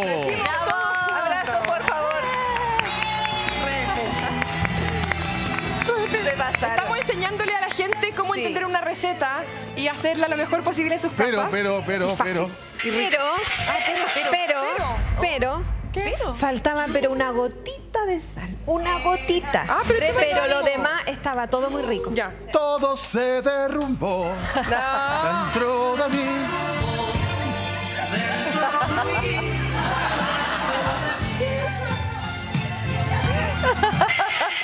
Igual es bueno que Ah, ¿Ves? Podríamos darle ¿Ah? 10 de 10. ¿Quieren probar de nuevo? Son patos. ¿Le podemos echar un poquitito de sal? No. Yo, yo sé Esa, esa es más vieja que el hilo negro. Yo, yo sé por qué sienten que les faltó sal. Porque no lo probaron, no les tocó ningún pedacito de, De tocino. tocino. acá estoy, Ya, miren, acá estoy repartiendo. para que no se nos vayan gente. pelando. Para que no se vayan pelando, ahí tienen una, en buena cantidad. Oye, ¿Ah? muy Esto es bien. En buena cantidad. Mira, la coca está enojada. Guatita llena, corazón Coca, contento. si ahí tienes también. No, mi coquita, si con usted siempre hay. Ya, ahora le falta sal o está mejor. Ahora sí que está buena. Esa es más vieja que la injusticia. ¿La probaste? Ay, qué felicidad. Está exquisita, exquisita. Maravilloso. Qué bueno. De verdad, muy, muy buena. Ir conversando con Francesco Gazzella, que nos había adelantado un tema bien interesante, Francesco. Efectivamente, mira, quienes vemos, quien- a quien vemos en pantalla es a Marcelo Bonaparte. Ya, Este era un turista argentino, más que turista, la verdad es que él venía a Viña del Mar por una entrevista de trabajo. ya. Y este es el cierre lamentable de su viaje al país. Está, está regresando, de hecho, ahora a Argentina. Y claro, él está caminando y se da cuenta que hay una mujer que está siendo amenazada por ese sujeto. Sujeto que después empieza a gritar que era su novia, que era su polola, no tengo idea. Pero la cuestión es que la ve amenazada, se acerca y le dice que se detenga, porque si no, él va a llamar a carabineros. Ya que estamos justamente con la capitán Javiera García aquí, que nos acompaña todavía. Y en ese rato, este tipo saca una pistola, dice él, y lo amenaza a él derechamente y le pide su teléfono. Y él reacciona. Se- Es una reacción frente a Claro. cuando le quita el teléfono. Todo. Se abalanza encima y justamente eh, otras personas que van caminando empiezan a grabar esta imagen. Mira, escuchemos el ambiente y lo comentamos. Ya. Cálmate. No, no lo dejes. Sí. Déjame sentarme. Mi nombre es Marcelo Bonaparte, turista argentino. AAD 065791, Deja sentarme, pasaporte argentino. deja sentarme nada más. Voy a cuestión. Ahí nomás, nomás. Nomás. Ya que te estoy reduciendo a este hombre porque me amenazó con un arma, Sí, presuntamente. Me amenazó con un arma. Tranquilo, siéntame. Chileno.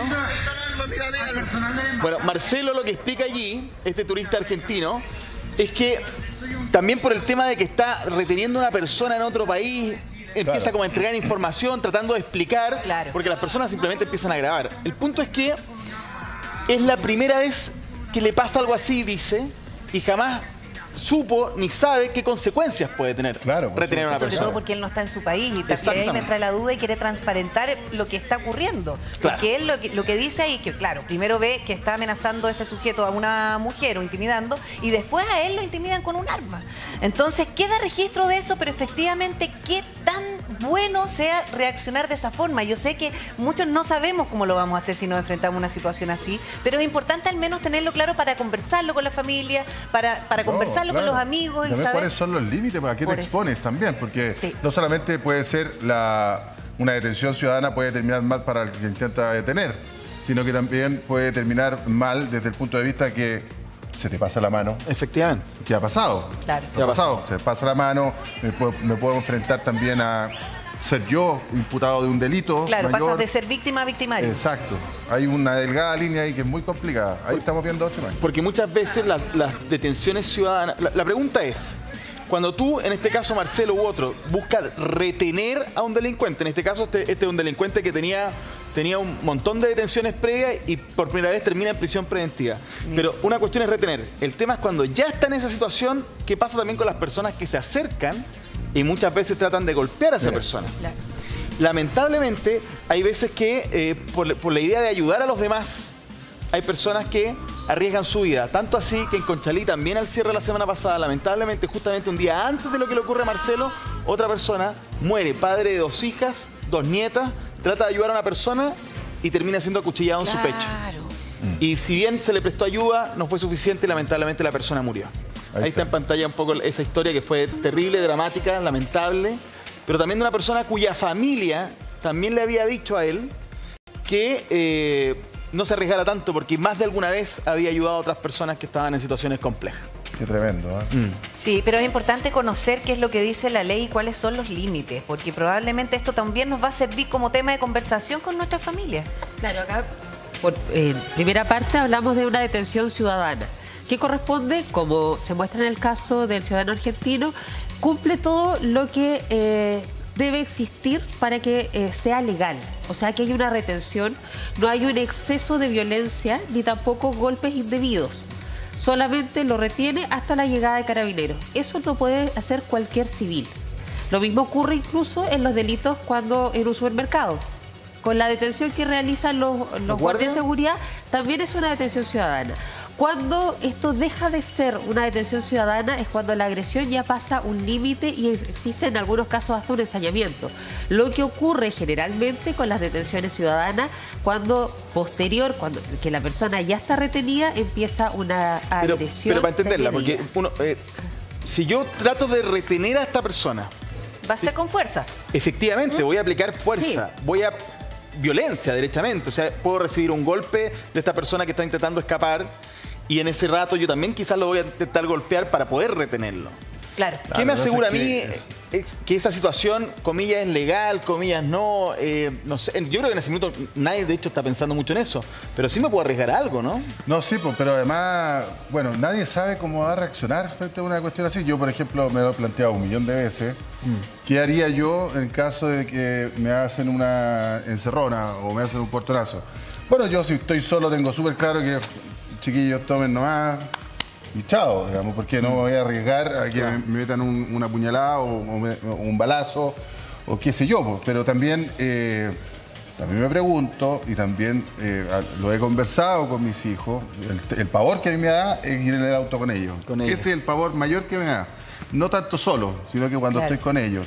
Y también es una conversación que uno tiene que tener. Sin duda. No, y sobre todo porque además una cosa es que a ti te pase y tú sepas cómo reaccionar, pero si tú vas pasando por la calle y ves que una persona necesita ayuda, te vas a ir con la conciencia tranquila Si no lo ayudas. lo ayudaste. Mm. Entonces por eso es tan difícil saber cómo enfrentar una situación así. Vamos a tomar contacto con Alexandra Vidal. Eh, y Alexandra, eh, nosotros nos conocemos hace mucho tiempo y entiendo que tú también viviste una situación personal con un miembro de, de tu familia, eh, particularmente fue tu hijo. eh, y yo me imagino que quizás también en algún minuto hasta lo conversaron, pero es muy difícil saber de qué forma uno va a reaccionar ante una situación tan compleja como esta. Alexandra, ¿cómo estás?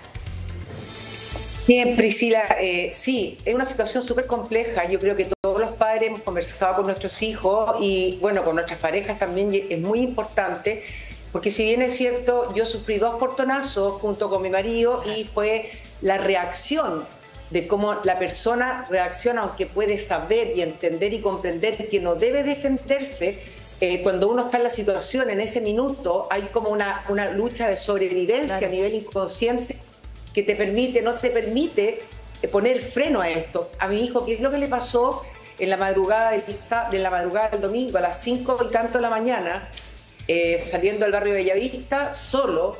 Eh, lo asaltaron tres personas, le pegaron, y, pero gracias a Dios fue un combo que no pasó más allá, no pasó nada grave. Él reaccionó porque también se quiso defender, se acordó de lo sucedido que nos había pasado a nosotros y entregó el celular. Entonces, eh, es muy complicado hoy día, porque quiero que entiendan lo que nos están escuchando, que las personas que están asaltando, que están violentando, están drogados. Yo las dos oportunidades que tuve, que tuve esa- eh, los portonazos, los vi y estaban completamente van drogados porque así no tienen ningún tipo de emoción y están fuera de sí. Por lo tanto, si uno se defiende, ellos se van a sentir agredidos y va a empezar algo, ellos pueden estar con armas, con pistolas, con todo lo que van. Entonces yo creo que hay que entender, hay que conversar con nuestros hijos, con nosotros mismos, todos los días que salimos a la calle, que hoy día perdimos la libertad de ser personas que vamos seguras, tenemos que condicionarnos a decirnos, si nos asaltan tenemos que entregar todo. Y eso hay que decirlo permanentemente porque la sobrevivencia, como dije anteriormente, aunque uno mucho hable, en el momento pasan tantas Sí. cosas que se nula la razón.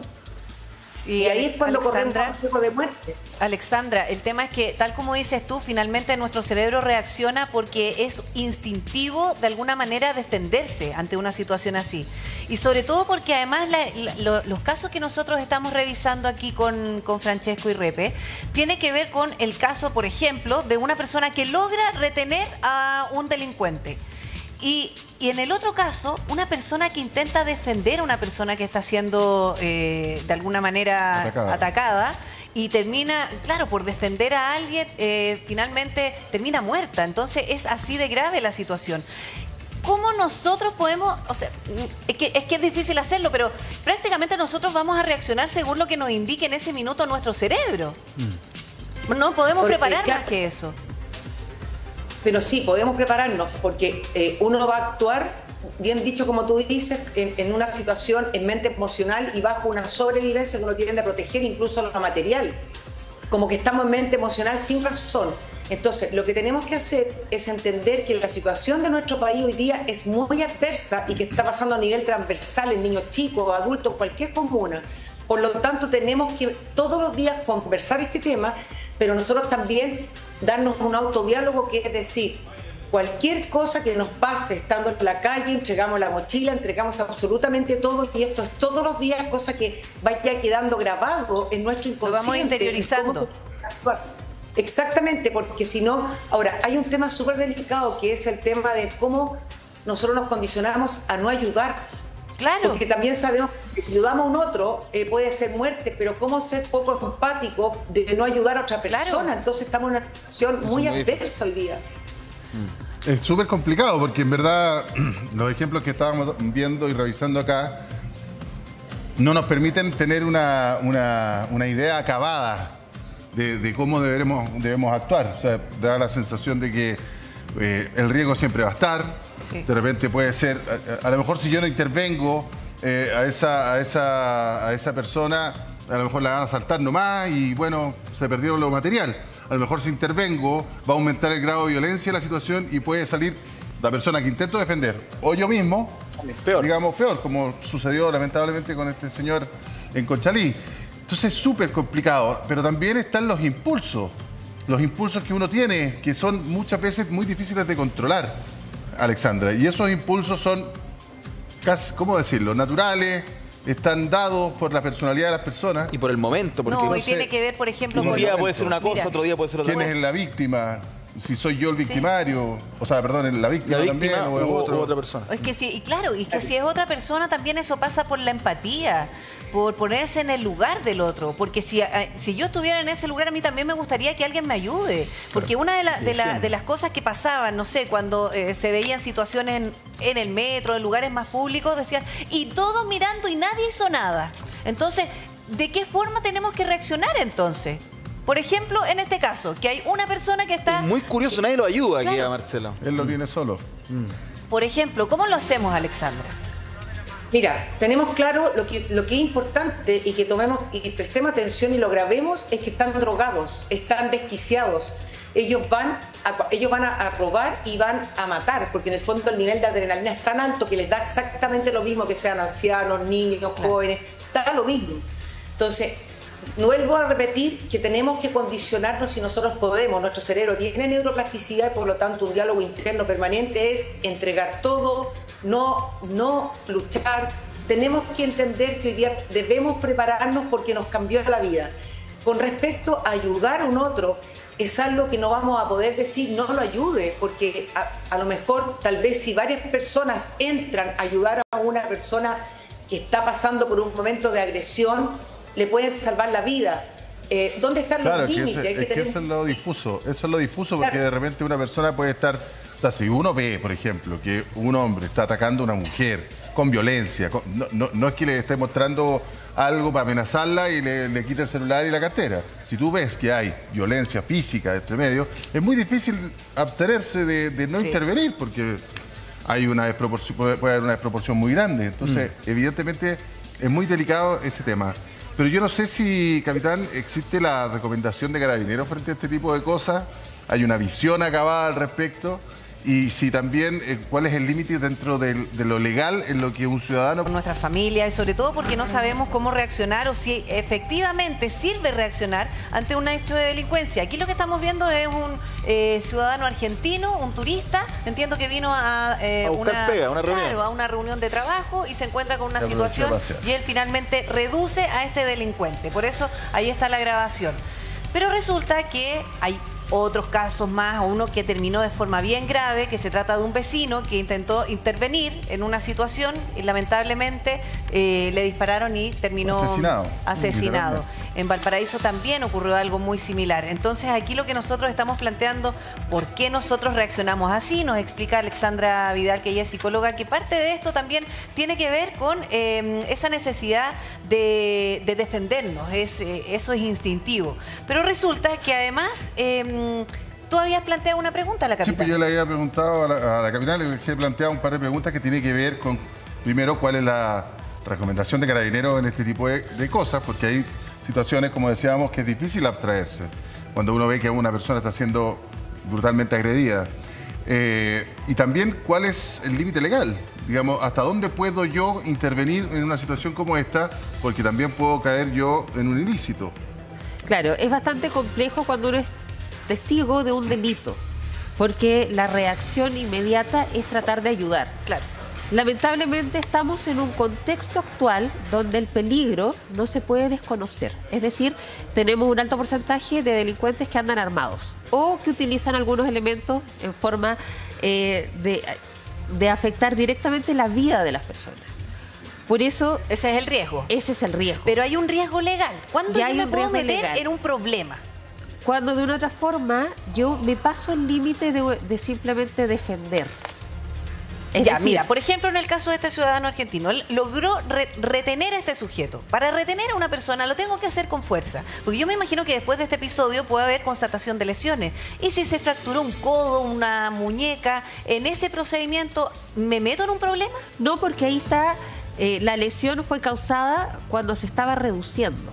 Distinto es si él está ya en el suelo siendo reducido y lo empiezan a golpear causándole una fractura u otro tipo de lesión aún más grave. Que eso Ahí ocurre en las cambia. detenciones ciudadanas. Y es lo, el De gran hecho, las imágenes que, tenemos. mostrábamos ocurría de personas que se acercan y le hacen daño al, al delincuente. Bueno, es complicado también porque las personas hoy por hoy están con mucha rabia, muchas mucha molestias, pero hay que siempre decir que no corresponde, que solamente se- si se quiere apoyar en retener a la persona mientras llega la policía. De, de hecho, muchas veces la policía termina defendiendo a, las- a los delincuentes que están en una detención ciudadana porque justamente les pasa les pasa mucho problema. Pero ¿cómo, ¿cómo se hace esto? Porque usted también me explicaba antes de, de que entráramos en el tema de que hay personas que con tal de ayudar muchas veces o de defenderse a ellas mismas utilizan ciertos elementos y no todos son legales ni mucho menos. De hecho, me comentaba usted que hay, se venden electrochoc hoy por hoy en Barrio Makes. hemos logrado incautar. Y aquí es súper importante, eh, si yo tengo más de 18 años, puedo tener, que es muy usual por nosotras las mujeres, la utilización del gas pimienta. Gas pimienta. Pero el gas pimienta debe comprarse en un lugar establecido bajo la norma, donde le van a pedir su carnet de identidad, eh, tiene dimensiones específicas y uno igual debe tener cierta preparación y saber un poco Ya. si puede reaccionar ante una situación de miedo. ¿Por qué? Porque perfectamente podría yo intentar utilizarlo y el delincuente tomarlo y ser un arma al final para mí. Por En eso contra de es- uno. En contra. Claro. Y ahí es donde tenemos que tener bastante cuidado. Estos elementos están regulados en la ley de control de armas. Usted puede tener un gas pimienta. Ahora, el punto es que debe cumplir la norma. Perfecto. Comprarlos en mercados informales. pero por el ejemplo- electrochoc También, electrochoc Eso- bajo ningún caso No. que se venda en Ni, cualquier parte. ni aunque me defienda con un electrochoc de un, de un episodio de. Es que ahí sí de podríamos tener un problema, porque usted está utilizando un eh, elemento que debe, eh, usted para comprarlo debe eh, existir una inscripción en un lugar establecido y todo. Si yo utilizo un arma que no es legal, voy a tener un problema. Voy a tener un problema. Mm. Independiente que me esté defendiendo. Claro, va a cumplirse la figura de que, claro, yo me defendí, pero hay, que hay otra sanción que utilice un arma ilegal. Ya, pero, mira, voy a llevar el caso a, a cuestiones, no sé, tan cotidianas que a veces se nos olvida. O sea, picado que de repente y- y estaba muy de moda este, la, la cortapluma roja, esa que tienen para todo, para Ah, sí, la que- suiza. esa pero que también tienen su cuchillo y todo. Sí, y mucha sí, gente sí. la usa aquí en el, como una herramienta, que necesito atornillar algo, que necesito un cuchillo para, para hacer palanca en alguna cuestión o cortar No, un genial. fiambre, que sé yo, cuando estoy en cualquier Para sacar un corcho. Para sacar un corcho. ¿Verdad? Y lo tienen aquí en el, en el cinto. ¿Cómo- ¿Qué dice la ley al respecto de eso? Ahí, claro, existe la figura del porte ilegal de arma blanca o un arma cortopunzante. Esta Esa, arma- mire, esa. Exacto. Esta arma, de una forma, no, el fin no es para atacar o lesionar a una persona. Si yo lo ando portando, no debería ser, Ese fin. eh, no debería ser sancionado a no ser que sea utilizado para otro fin. Pero, por ejemplo, si me atacan, insisto, como dice el el reto, una persona que la lleva por otras razones, como herramienta, ni siquiera Claro. como arma de defensa. Me atacan con me arma atacan. La agarro, me defiendo. En- Claro, porque ahí... ¿Significa un problema? Es que tiene que existir para que se configure una legítima defensa tres requisitos. Una agresión ilegítima, una provocación y la necesidad del medio empleado. Aquí, se, aquí quiere decir esto, existir cierta proporcionalidad de los medios. O sea, si me vienen a atacar con un elemento cortopunzante, un cuchillo, y yo saco el mío, eso, eh, existe una proporcionalidad, podría ajustarse a una legítima defensa siendo que yo solamente lo ocupé para eh, Defender. defenderme. Ahora, si después sigo generando no, corte, claro, ahí ya claro. cambiamos. Claro, cambiamos. Bien. Ya, eso es, es- es importante tenerlo en consideración, la proporcionalidad y todo. Pero bueno, este es un tema que seguramente mucha gente tiene que debe estar pensando en su casa, en el entorno familiar, de cómo actuar, eh, los protocolos familiares respecto de estos, de estos temas y los protocolos personales, como lo decía Alexandra. Alexandra, te mandamos un beso gigante, sabemos que estás por allá lejos y te damos las gracias por haber conversado con nosotros esta mañana. Gracias por la invitación a ustedes por tocar temas tan delicados. Un abrazo gigante.